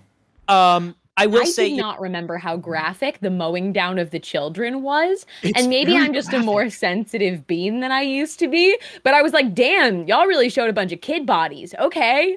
This is one of those things where this movie goes up and down between like the silliness and the like extreme darkness in a way that like I don't think any other Star Wars movie does. Um, Bail Organa tries to see what's up. He's asked to leave, and Jet Lucas, George's that his son, name? That's Jet Oh, Lucas, oh, wow. George's son, who comes out Oh. as the as the Jedi, a teenager who mows down those uh, clone troopers and tries to let Bail Organa get away. And then Bail Organa watches the kid get shot. That's Jet Lucas. Bail Organa is like, "Hey, you'll be hearing from me," and flies away. Uh, what we have not seen throughout this movie, another thing that got cut, is there have been multiple meetings between Bail Organa, Mon Mothma, Padme, um, all about like, hey, what's going on with the Senate, and should something be done? Yeah. Uh, and it is the beginning. Like Mon Mothma really talks about starting the rebellion here in this movie, and all that stuff got cut, unfortunately. Yeah, and it, it does feed into you know and uh, some interesting things of, of them being like we can't tell anybody outside of this room, which you know uh, feeds in, an interesting th- other layer to Padme being like we can't keep secrets from each other. Um, There's also just the the aspect of uh, her kind of. And this is something that was built up in the the Clone War show, where she had friends that were separatists and stuff like Yeah. that, and just like having convers secret conversations with More of that context would have yeah. would have added some depth to that to that relationship, I think. Yeah. Um, we get Obi Wan surviving, and he sees that the cl- that something's up with the clones, including the good clone who gave him Commander Cody gave him his lightsaber back. What's going on, Cody? You gave me my lightsaber. Are we Yeah. cool? No. Uh, then we, of course, uh, Chewbacca knew Yoda. Chewbacca knew Yoda. Everybody, that Wookiee, that Wookiee's name was Bill Gates. that Wookiee's name was Chewbacca. Uh, and yes, you're right. I don't know that that was one that we needed. It, it would have been nice to see Chewbacca during the Battle of Kashyyyk. I don't know that it needed to be called out by "Thank you, my friend," but I like that we saw that Chewbacca was at the Battle of Kashyyyk. Uh, Bail Bail Organa is like, "I'm good. We got to save some Jedi." Obi Wan says the same thing. Um, now, this is where we get the conversation between Padme and Anakin, where it's like, Padme, you should have done something a little earlier, I think. And and Padme would have done something a little earlier if she had been the Padme from previous films. yes. Um, I saw Master Windu try to assassinate the Chancellor myself. My my loyalties lie with the Chancellor and the Senate and you. The end. in that order. Uh, Yeah, in that order. Uh, my It is. three biggest loves. Uh, have faith, my love. Everything will soon be set straight. And you know, all I kept thinking during this scene was this woman is a queen and a senator, and she would not be. She's been in battle. She was in the Battle of Naboo. She's she's she got she got crop topped in an in an arena. Like she's been in the shit, and I just I don't like the way she acts in this scene. That's all. Uh, 3PO shows up because he's trying to help. Yeah. Not enough 3PO in this movie. And R2 uh, is uh, obviously beeping and booping like, Anakin's going fucking crazy. And 3PO's like, yeah, it sounds hard, dude. like that, there's very obviously like a subtle moment where you can read into like R2 being like, shit's bad, shit's mm-hmm. real bad. Yeah. Uh, because all of this, all of this deception came from the Jedi. There's a beacon at the Jedi Temple that's telling all Jedi to immediately return to the temple. And so Obi Wan and Yoda are going to be like, no, no, no, strike that, reverse it. Uh, then we cut to Mustafar. It's unpleasant. Uh, this looks like separ- a place that could have a fortress for a big evil guy. Yeah, uh, the separatist leaders are all there. Darth Sidious gets on the uh, gets on the holophone and is just like, "Hey, don't worry, my new guy, he's gonna come and he will." And he doesn't just say, "My new guy's gonna come and take care of you." He McDiarmid's it. He's like, "My new guy will come and he will take care of you." Yeah, yeah. I, I had to pause the movie at this moment, and I was like, "Holy shit, that is so evil!" And then I thought about, I'm like, "Hey, from the other side, if they trusted him." It doesn't sound that evil. From your point of view, yep. the separatist leaders are evil.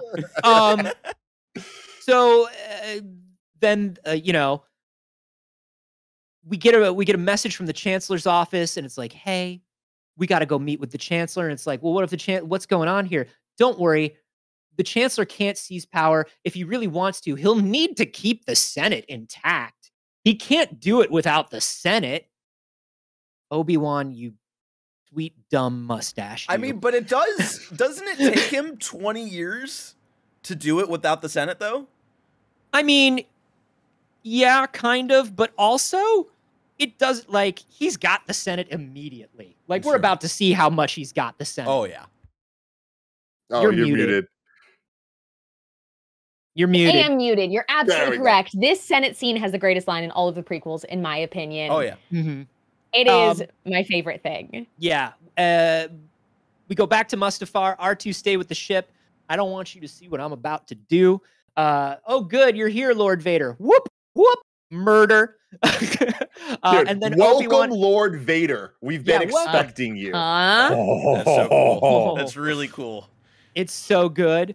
Uh, we get Obi Wan and Yoda wrecking shop a little bit against some clone troopers. This was a much more extended scene originally. And then in the Senate, the chancellor's like, look, the Jedi, they fucking suck. Look what they did to my face. We got to do something. They are ruining everybody. They're rebelling. This is terrible. Are we good with just letting me have all the power unquestionably? And literally everyone's cool with it. Nobody yeah. even wants to raise their hand and bring up some other motion like, do we really want to give everybody every like no, it's cool. We're good. Uh, but Padme, but except Padme. for Padme sitting up there, stares at him, say, "All of the rest of the Jedi will be hunted and killed." And this line that I just I don't care like how overused it is. She looks out and she says, "This is how liberty dies." With mm-hmm. thunderous applause and with the delivery that you would expect.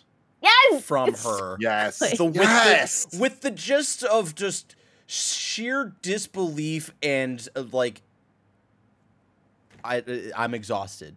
I can't. Yeah. Fuck. Yeah. You know, and um, that's I wanted why her no one. the rest know, of this movie, man. That's why no one raises their hands because of how many people are just like, "Woo, yeah!" You know, Keep state they got laser swords and they did that to his face. You yeah. know. Yep. Um. So uh, Obi Wan and Yoda go to the temple, and everyone's dead, even the younglings. And poor Obi Wan, who who could have done this? He says, he knows.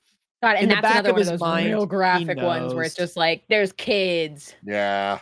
Um is is this a scene where he goes, Anakin's Anakin's the father, isn't he? No, that's uh this comes soon. Yeah. Yeah. Uh because that is but, awesome. Uh we go to um Lord Sidious promised us peace as uh Lord Vader destroys everyone. Obi-Wan recalibrates the code. Uh, and he says, We got to figure out who did this. And Yoda goes, if into the security recordings you go, only pain you will find. Now, Yoda, I understand what you're saying, but also that's poor detective work and it's not the best thing to do in this situation. You should know who killed the Jedi because you're gonna have to deal yeah, with it. What was his goal there? You know? Yeah. Was he just gonna like pretend for with Obi Wan for the rest of their lives? Like ah, it could have been anyone, really. Could have been anybody. I know it wasn't you because I was with you, and you know it wasn't me. But above and beyond that, um, but you know, I, I think at this point, I've always watched this scene with the subtext of Obi Wan knows, and Yoda's like, yeah. "Don't watch it, don't right. watch it, man." Um, and so Yoda, uh, Obi Wan says, "Send me to kill the Emperor. I will not kill Anakin." He's like, "My brother, I can't do it." And Yoda goes, "Dude, you think you're gonna fight Lord Sidious? Get out of here. Go kill your little brother. I got real shit to take care of." Come on. Um, Obi, then this is where Obi Wan talks to. Padme. But also, but even with what you just said, though, Carboni, can we uh, yeah. think about it for just a second? I know we're going long, and I apologize. I apologize so much to everyone involved, specifically to Saige, because she has not been on an interview with Carboni before, so she doesn't. She didn't know. Yeah. She didn't know. I fucking love it though. This is fantastic. She was content. on. She was on the spider. She was on the Spider Boys No Way Home. She knows. No, I was not. but, well, I guess we did the one after yeah. the fact on yeah, yeah, yeah. Yeah. Yeah. So I also so do a show the, with Anthony three days a week. Yeah. So yeah, yeah, yeah, yeah. No, no. I fucking I, I, this is a blast. But um, you just said that Yoda's like, yo, I'm gonna handle Sidious. You you handle your little brother. We just talked for two hours and 26 minutes about the fact that they don't know who Darth Sidious is. Like, they don't, Yoda doesn't understand this shit. Like, it's such a weird jump to, I guess now, oh, he has all this power. I'll take care of him. And it's like maybe we should. Well, they well he's had see, enough power they see the, to fog their you know their their yeah, minds and they about. see the security recording not just of the younglings but of Mace Windu. So they see they see the Windu battle and they know. Yeah. Yes. Um, you're right. Yeah. You're right. So um, you know, uh, this is where Obi Wan talks to Padme, and Padme is still in so much denial at this point. Uh, this is where we get the famous killing younglings uh, line, where famously Ewan McGregor says that he did this with his hand because he was chuckling because he couldn't deliver the line. Um, I don't know if that's I don't know if that's real or if that's just a thing I, that he said a couple times. I could I could imagine it, especially with you know often things are filmed out of order. Mm-hmm. You know, you don't you're not feeling the same weight of uh, uh, of recording a scene, especially when it's all CGI stuff. As it's like, not, what is it? Line. Yeah, and like the way because the way it's worded, and because George Lucas is a you know a robot with human flesh, with the like killing younglings. Who says that? Yeah. Um. Well, apparently Obi Wan does, and uh, Padme says, "You're going to kill him, aren't you?" And he says, "Listen, he's he's very he's very dangerous. Like that's all he says. He doesn't say no. Mm-hmm. Um, and so she's like, I'm not going to tell you where he is. We get the first shot of Vader overlooking Mustafar from what's going to become his ding dang castle right before, and it's a dope shot. Right yeah. before 3DO, a 3PO and Padme go off to Mustafar with Obi Wan hiding inside because he's like, I know where you're going. I know exactly where you're going. Um, Anakin's not feeling great about what's going on, but his buddy, the Emperor, says you have restored peace and justice to the val- uh, to the galaxy. You did it. A ship appears on the uh, on the instruments. Well, also, it- hey, shut down all the droids, please, because we. Oh need, yeah. We need to uh, shut uh, shut them down, please, because they're not in the original trilogy. So please. Holy shit! It was Carbonia droid. We shut down oh my god.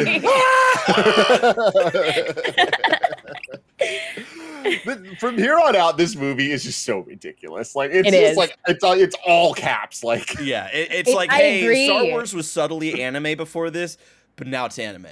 Yeah, yeah, now it's anime.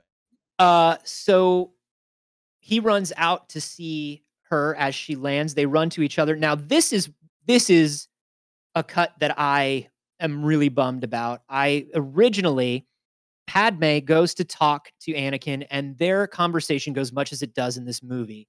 Um, you know, only my new powers can save you. I'm doing it to protect you. Uh, we can live on my cool lava planet. We don't have to run. Look how cool this lava planet is. It's dope. Um, uh, and when she finally sees what he's become, she pulls a knife on him, and she tries to stab him. She tries to be the one to destroy Darth Vader. Uh, injures him, and it's his injury originally that allows Obi Wan to win the duel. Sick. I love it. Would have been that. so cool. Wow. Why do we give her nothing instead? Because she's already, you know, she's already the plot device of why Anakin's so moody. She's already carrying this. You want her to have a third thing to do in this movie, Saige? You mean beyond the motivation of a man? uh, and the motivation of the future man? Obi Wan comes out from hiding. Anakin flips out. I knew you were all against me. Uh, Padme nails that scene, by the way. She does. She yeah. really nails she it. Does. The, I, think she nails you, that. The, I don't I know you.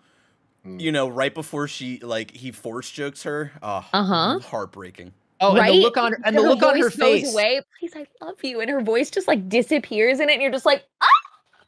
Uh, it's it's so rough. He throws her aside. You know, the Jedi turned against me. Don't you turn against me? You know, and then he sees Obi Wan. You did this, and Obi Wan throws down his robe and is just like, "You have done that yourself. Let's an icon go."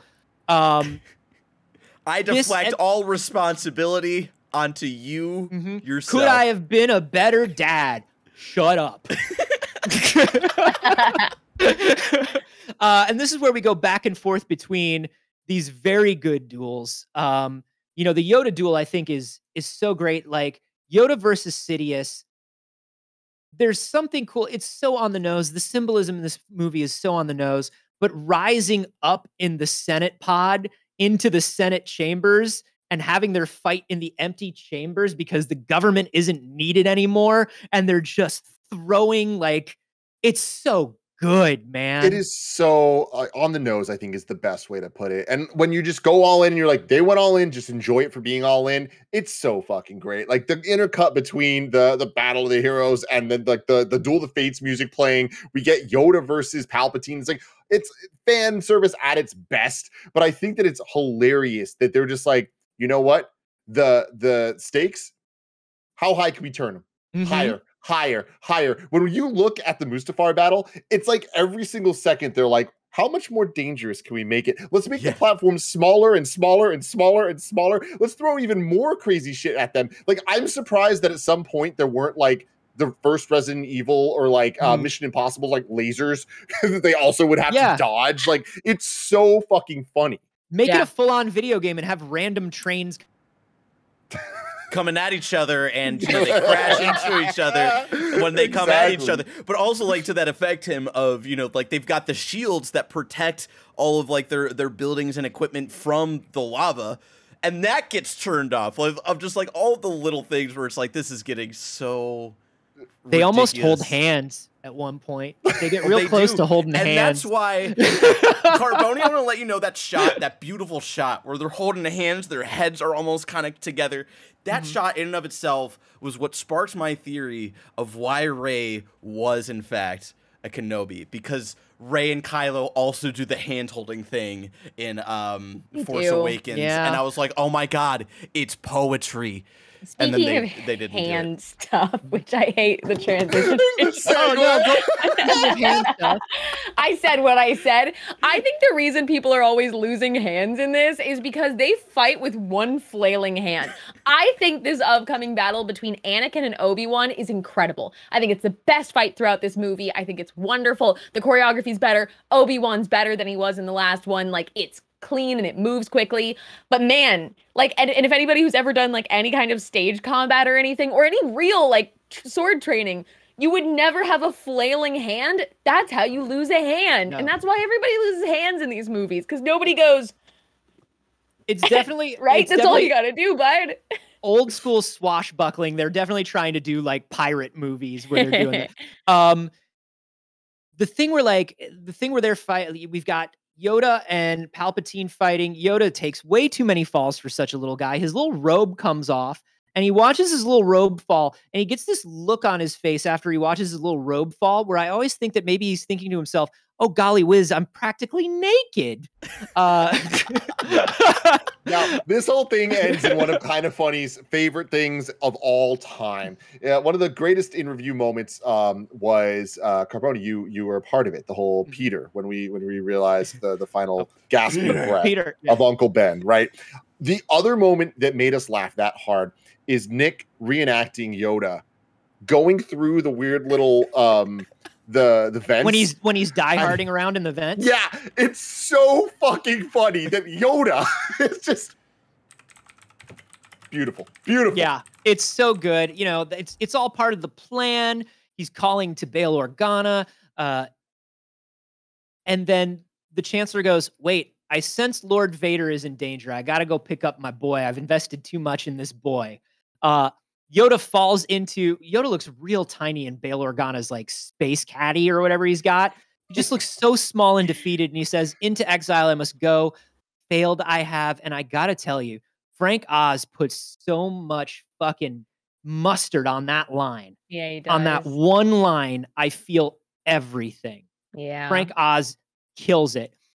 We go back to Mustafar. They're swinging on ropes. They're going, they're Anakin's using a scared little droid head as a platform, which is how you know Anakin's dark side now. He would never use a droid as a platform before. I like this bit where they're like really close in together and they don't have anywhere to go and they're fighting. Um, and then we get to I have failed you, Anakin. I have failed you. And again, when you think of the prequels mm-hmm. as the Clone Wars show, and you see these brothers grow with each other, learn from each other. Where Obi Wan's last, and, and, you watch this movie, and Obi Wan's last words to Anakin Skywalker were "May the Force be with you." Mm-hmm. See you later, old friend. Mm-hmm. And you, Ewan McGregor, fucking nails he that does. because yeah. he's he sees he truly finally in that moment i think is actually taking in this is no longer my brother. Yeah this is goodbye old friend. This it's is, not even i'll see you again. It's goodbye old friend. And you see that kind of in the way that and you know uh, good on lucas for you know either helping Ewan McGregor get to this moment or you know letting Ewan McGregor do what he does in this moment where you mm-hmm. see it in his his his eyes this realization of I am not talking to that person anymore. Yeah. And you this feel a, it in his voice of I have failed you. This mm-hmm. is a mm-hmm. great it's a great moment. Um we do get to, you know, from the point of from my point of view, the Jedi are evil. Look, yep. there's two sides, there are heroes on both sides. It says yeah. so right in the crawl. Um and then we get to uh it's over Anakin, I have the high ground. Now I will say there's no precedent for this. Mm-mm. And I don't understand why it works, but maybe it's a maybe it's a uh, maybe it's he's getting in his head.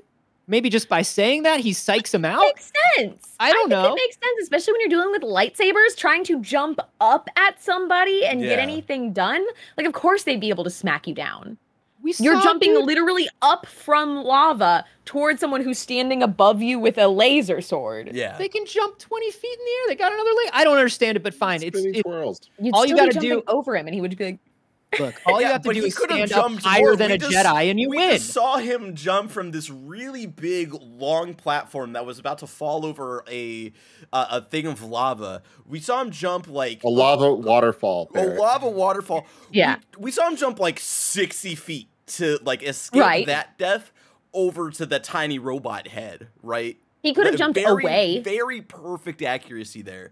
So I I do understand of like there's no rule. There's no there's no there yeah. wasn't anything in the first act where you know like Obi-Wan and Anakin are like uh, Obi-Wan's like teaching a little bit of what he has yeah. left to teach Anakin. No, there's a we moment where he's we like, "Hey, told. you gotta, you gotta yes. like." We we simply were not told.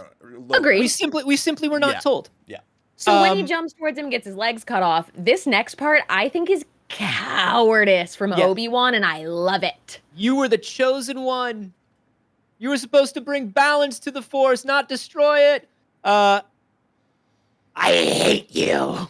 I love the I hate you. Yeah. Yeah. Because it gets into the Yeah. Ian I McDiarmid loved you. l- Yeah. like level of just like absolute comic camp villain that is fantastic and something I didn't think Hayden Christensen would ever have had in him, Yeah. but so good. and the and the Clone Wars, the Clone Wars really makes this scene pop a little bit more.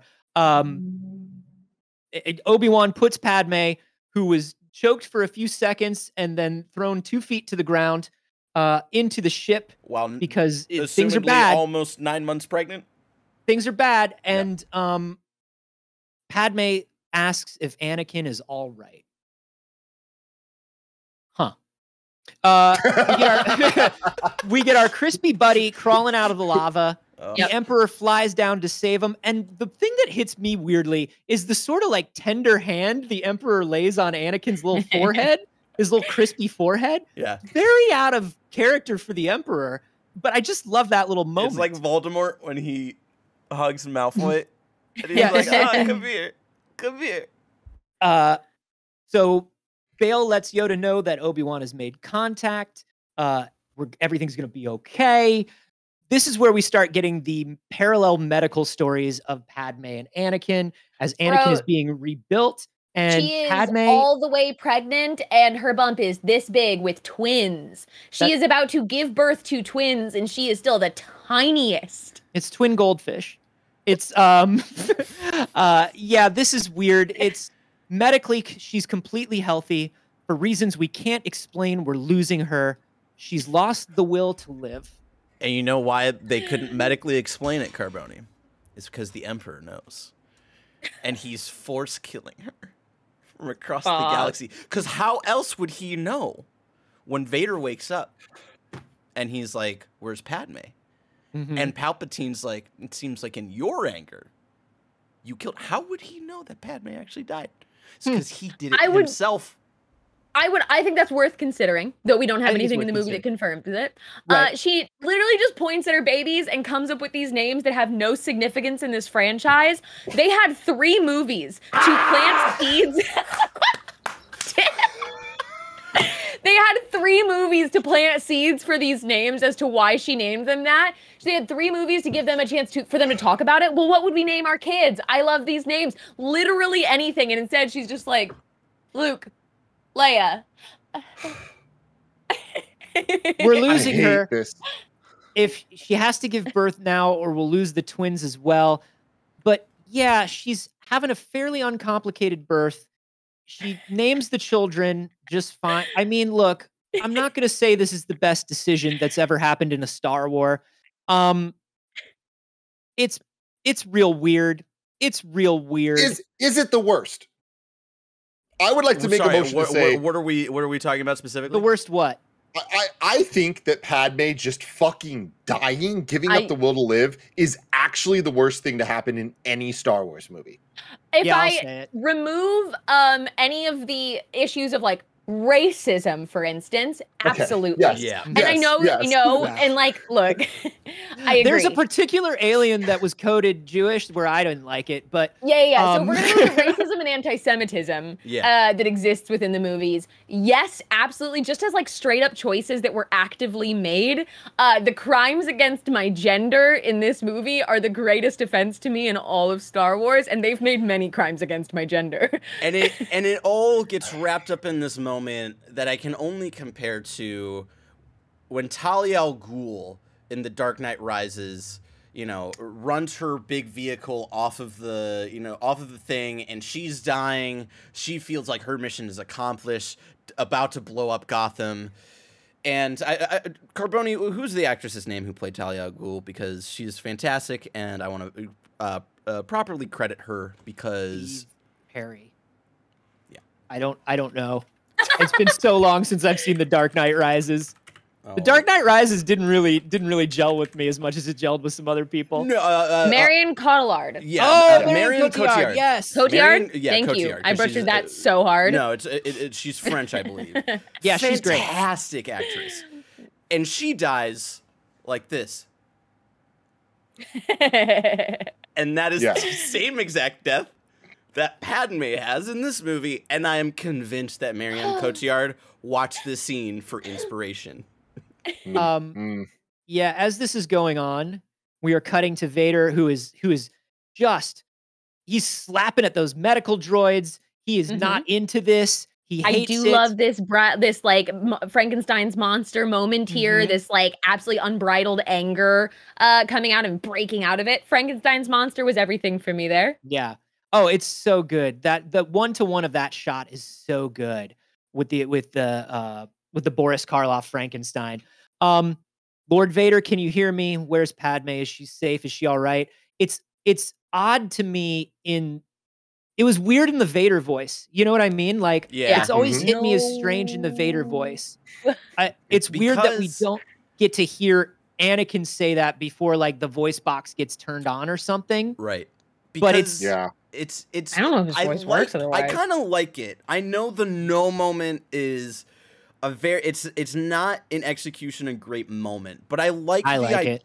I like the idea of because it's the Vader voice and almost how unsettling that is, where he's like, "Where's mm-hmm. Padme? Is Padme all right?" Because we've never heard the Vader voice care about yeah. anybody, right? And I, I mm-hmm. love, you know, I've always thought about. Oh, that's um, good. Yeah, I like that. Yeah, and I've always thought about like it would have been a much powerful moment, right? If at the uh, at, at this scene, right, instead of getting on his knees and yelling no, he was silent Vader about him. You see him close his fist and everything in that room is destroyed. But yeah. I do actually that's what I've said for years rewatching this movie. But actually now I'm thinking that's not who he is yet. Yeah. That's not And we're gonna I think still, we're gonna see yeah. that happen in the Kenobi show B. Yeah. And then the Obi-Wan decides one of you will be royalty and one of you will be poor. Yo. Good luck, kids. this is this is so wild. It's just like, yo, we can't let Vader raise them. He's not cool. He's gonna raise them. And Bail Organa goes like, Well, I'll take the girl because we were gonna pick up a girl on the way home anyway. I mean, dude, like, yo, straight up, real talk, like with all that, it's like, and again, beating the dead horse here, but it's like these prequels could have been so many things. And instead of having Chewbacca meet Yoda, they could have set up some type of story that made a little bit more sense of why Luke and Leia were separated the way that they were, where believe, they end up you know, going, all of that stuff. I think I think when Yoda says it's best to separate them, we are supposed to infer that if they're both in the same place, they have a better chance of being destroyed. They have a better chance of being taken by Vader, and they also have a better chance of being sensed. noticed. Yeah, yeah, sensed if there are two of them in one. Yeah, place. If you, so that's what I always. If you if you have two kids together who are the child of one of the most strongest Jedi uh, around, right? Like Palpy, a Palpy or Vader are yeah. gonna like kind of feel it if they get close to you know. It's like how the president and the vice president can't fly on the same plane. You don't yeah. want one lightsaber to take them both out at the same time. But I do think it sucks that one of them gets to has to literally be raised on a dirt farm that farms dirt, yeah. and the like, other one gets to keep to his evil the, name though. And once of them gets, yeah, yeah. Well, how will we ever find Luke Skywalker? Uh, I don't know. Um, and, and, and, I wonder, and I wonder if they're making these decisions because it was always like again in the movie because it's never like actually talked about or said in the movie or set up. You know, I I wonder if they're making these decisions under the assumption of like we think Annie is dead. You know, mm-hmm. so if anybody possibly knows about Padme being a lot or yeah. Padme being pregnant Let, and actually having these kids, it might be yeah. this very powerful Sith Lord Palpatine. Um, but even still, like, why would you? Hide him with Anakin's in the same house. brotherhood, like yeah, brother-in-law. literally yeah, in the same what? house with the same name. And once again, what? hopefully that Kenobi Shobi is going to tell us a little something about that. Um, and so Obi Wan says, "I'm gonna go. I'm gonna go watch after him." And he goes, "Cool, you go do that because I have some training for you. There's Force ghosts and you're gonna you're gonna learn how to talk to him and you're gonna learn how to be one. And, uh, there the, was a cut scene where uh, Yoda talks to the Qui Gon's ghost yeah. in this movie, and that, that's also included in the four hour super mm-hmm. super cut nice. where you just hear his voice while Yoda's like has his eyes closed, and I freaked out because that also me reminded me of the the possibility of Qui Gon Jinn also showing up in this Kenobi show.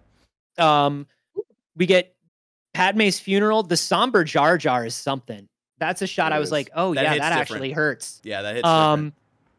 Padme gets buried with the necklace from Anakin that she's still holding on to. Okay.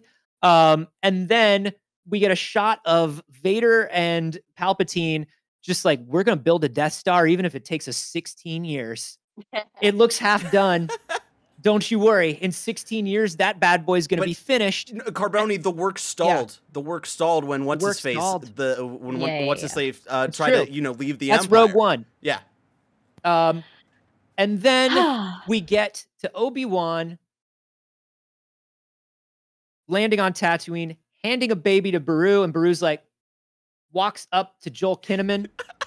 no words exchange. Did he hit her up on his cell phone ahead? He's like, "Hey, yeah. I got to drop off this kid." Like they walk up, they look at the sons, and they go, "We got a baby. that is something." Yep. Written and directed by George Lucas. Yeah. and, and, I do want to say the last thing I'll bring up in the supercut because yeah, very jarring moment. It's still a little jarring in the supercut, but what they decide to end on is not of the the moment of the possible new hope with Luke, right? Mm-hmm. They mm-hmm. decide to end on Vader finding the stormtrooper grave that Ahsoka left. And that's where they end in the supercut, which still hits even hard. It, it almost feels like that Empire Strikes Back of just like you know there's hope, but you don't feel it whatsoever, which is kind of the opposite of what they ended with Revenge of the Sith in that last shot, yeah. which I thought was an interesting choice of like you know there's hope and it's going to be okay which uh, uh, tonally i felt like was a weird choice to have after this very tonally just really dark movie. It's a um, dark ending. It's yeah. i think i think no matter what they did it's it's a dark ending. And then it, it goes to the dark ending. Did it, did it, did it, and it's like yeah. Uh, i don't know if i would have transitioned over to that music after the movie we it was watched. originally going to end with the cantina song so i'm glad that they changed that Should have ended on Leia because the next film starts on Leia, but that's it. And there you go, everybody. This has been Star Wars Episode 3 Revenge of the Sith, our rewatch here on In Review. Like I said a million times, next week we're going to be back on the Kinda Funny screencast doing our weekly reviews of Obi-Wan Kenobi. And I am so, so excited. Episodes one and two will be next Friday, and then every other episode will be next Wednesday, I think, unless they stick to the Friday releases. I'm sure at Celebration they're going to make that clear. But until then, Saige, where can people find you? You can find me everywhere on the internet at Not Saige and over on the Pixel Circus channel, which I run and also do a bunch of lovely shows with Anthony as well. Uh, we do D and D, we do morning gaming and pop culture news, and we got a bunch of fun new stuff coming out. So twitch.tv slash Pixel Circus. Hell yeah! And Anthony Carboni, where can people find you? You can find me everywhere on the internet at A Carboni, except for on Twitch, where I'm at Anthony Carboni. Twitch, you cowards, give it back to me. I do the Pixel Circus thing with Saige, and uh, all next week, starting on Thursday, watch me on the Star Wars YouTube channel doing all of the Star Wars celebration coverage live. It's going to be a good year. Hell yeah. Congratulations on that. And congratulations on your first in review plot. You killed it. This was fantastic. Hey, Great thanks. episode, everybody. Good. But until next time, I love you all. Goodbye.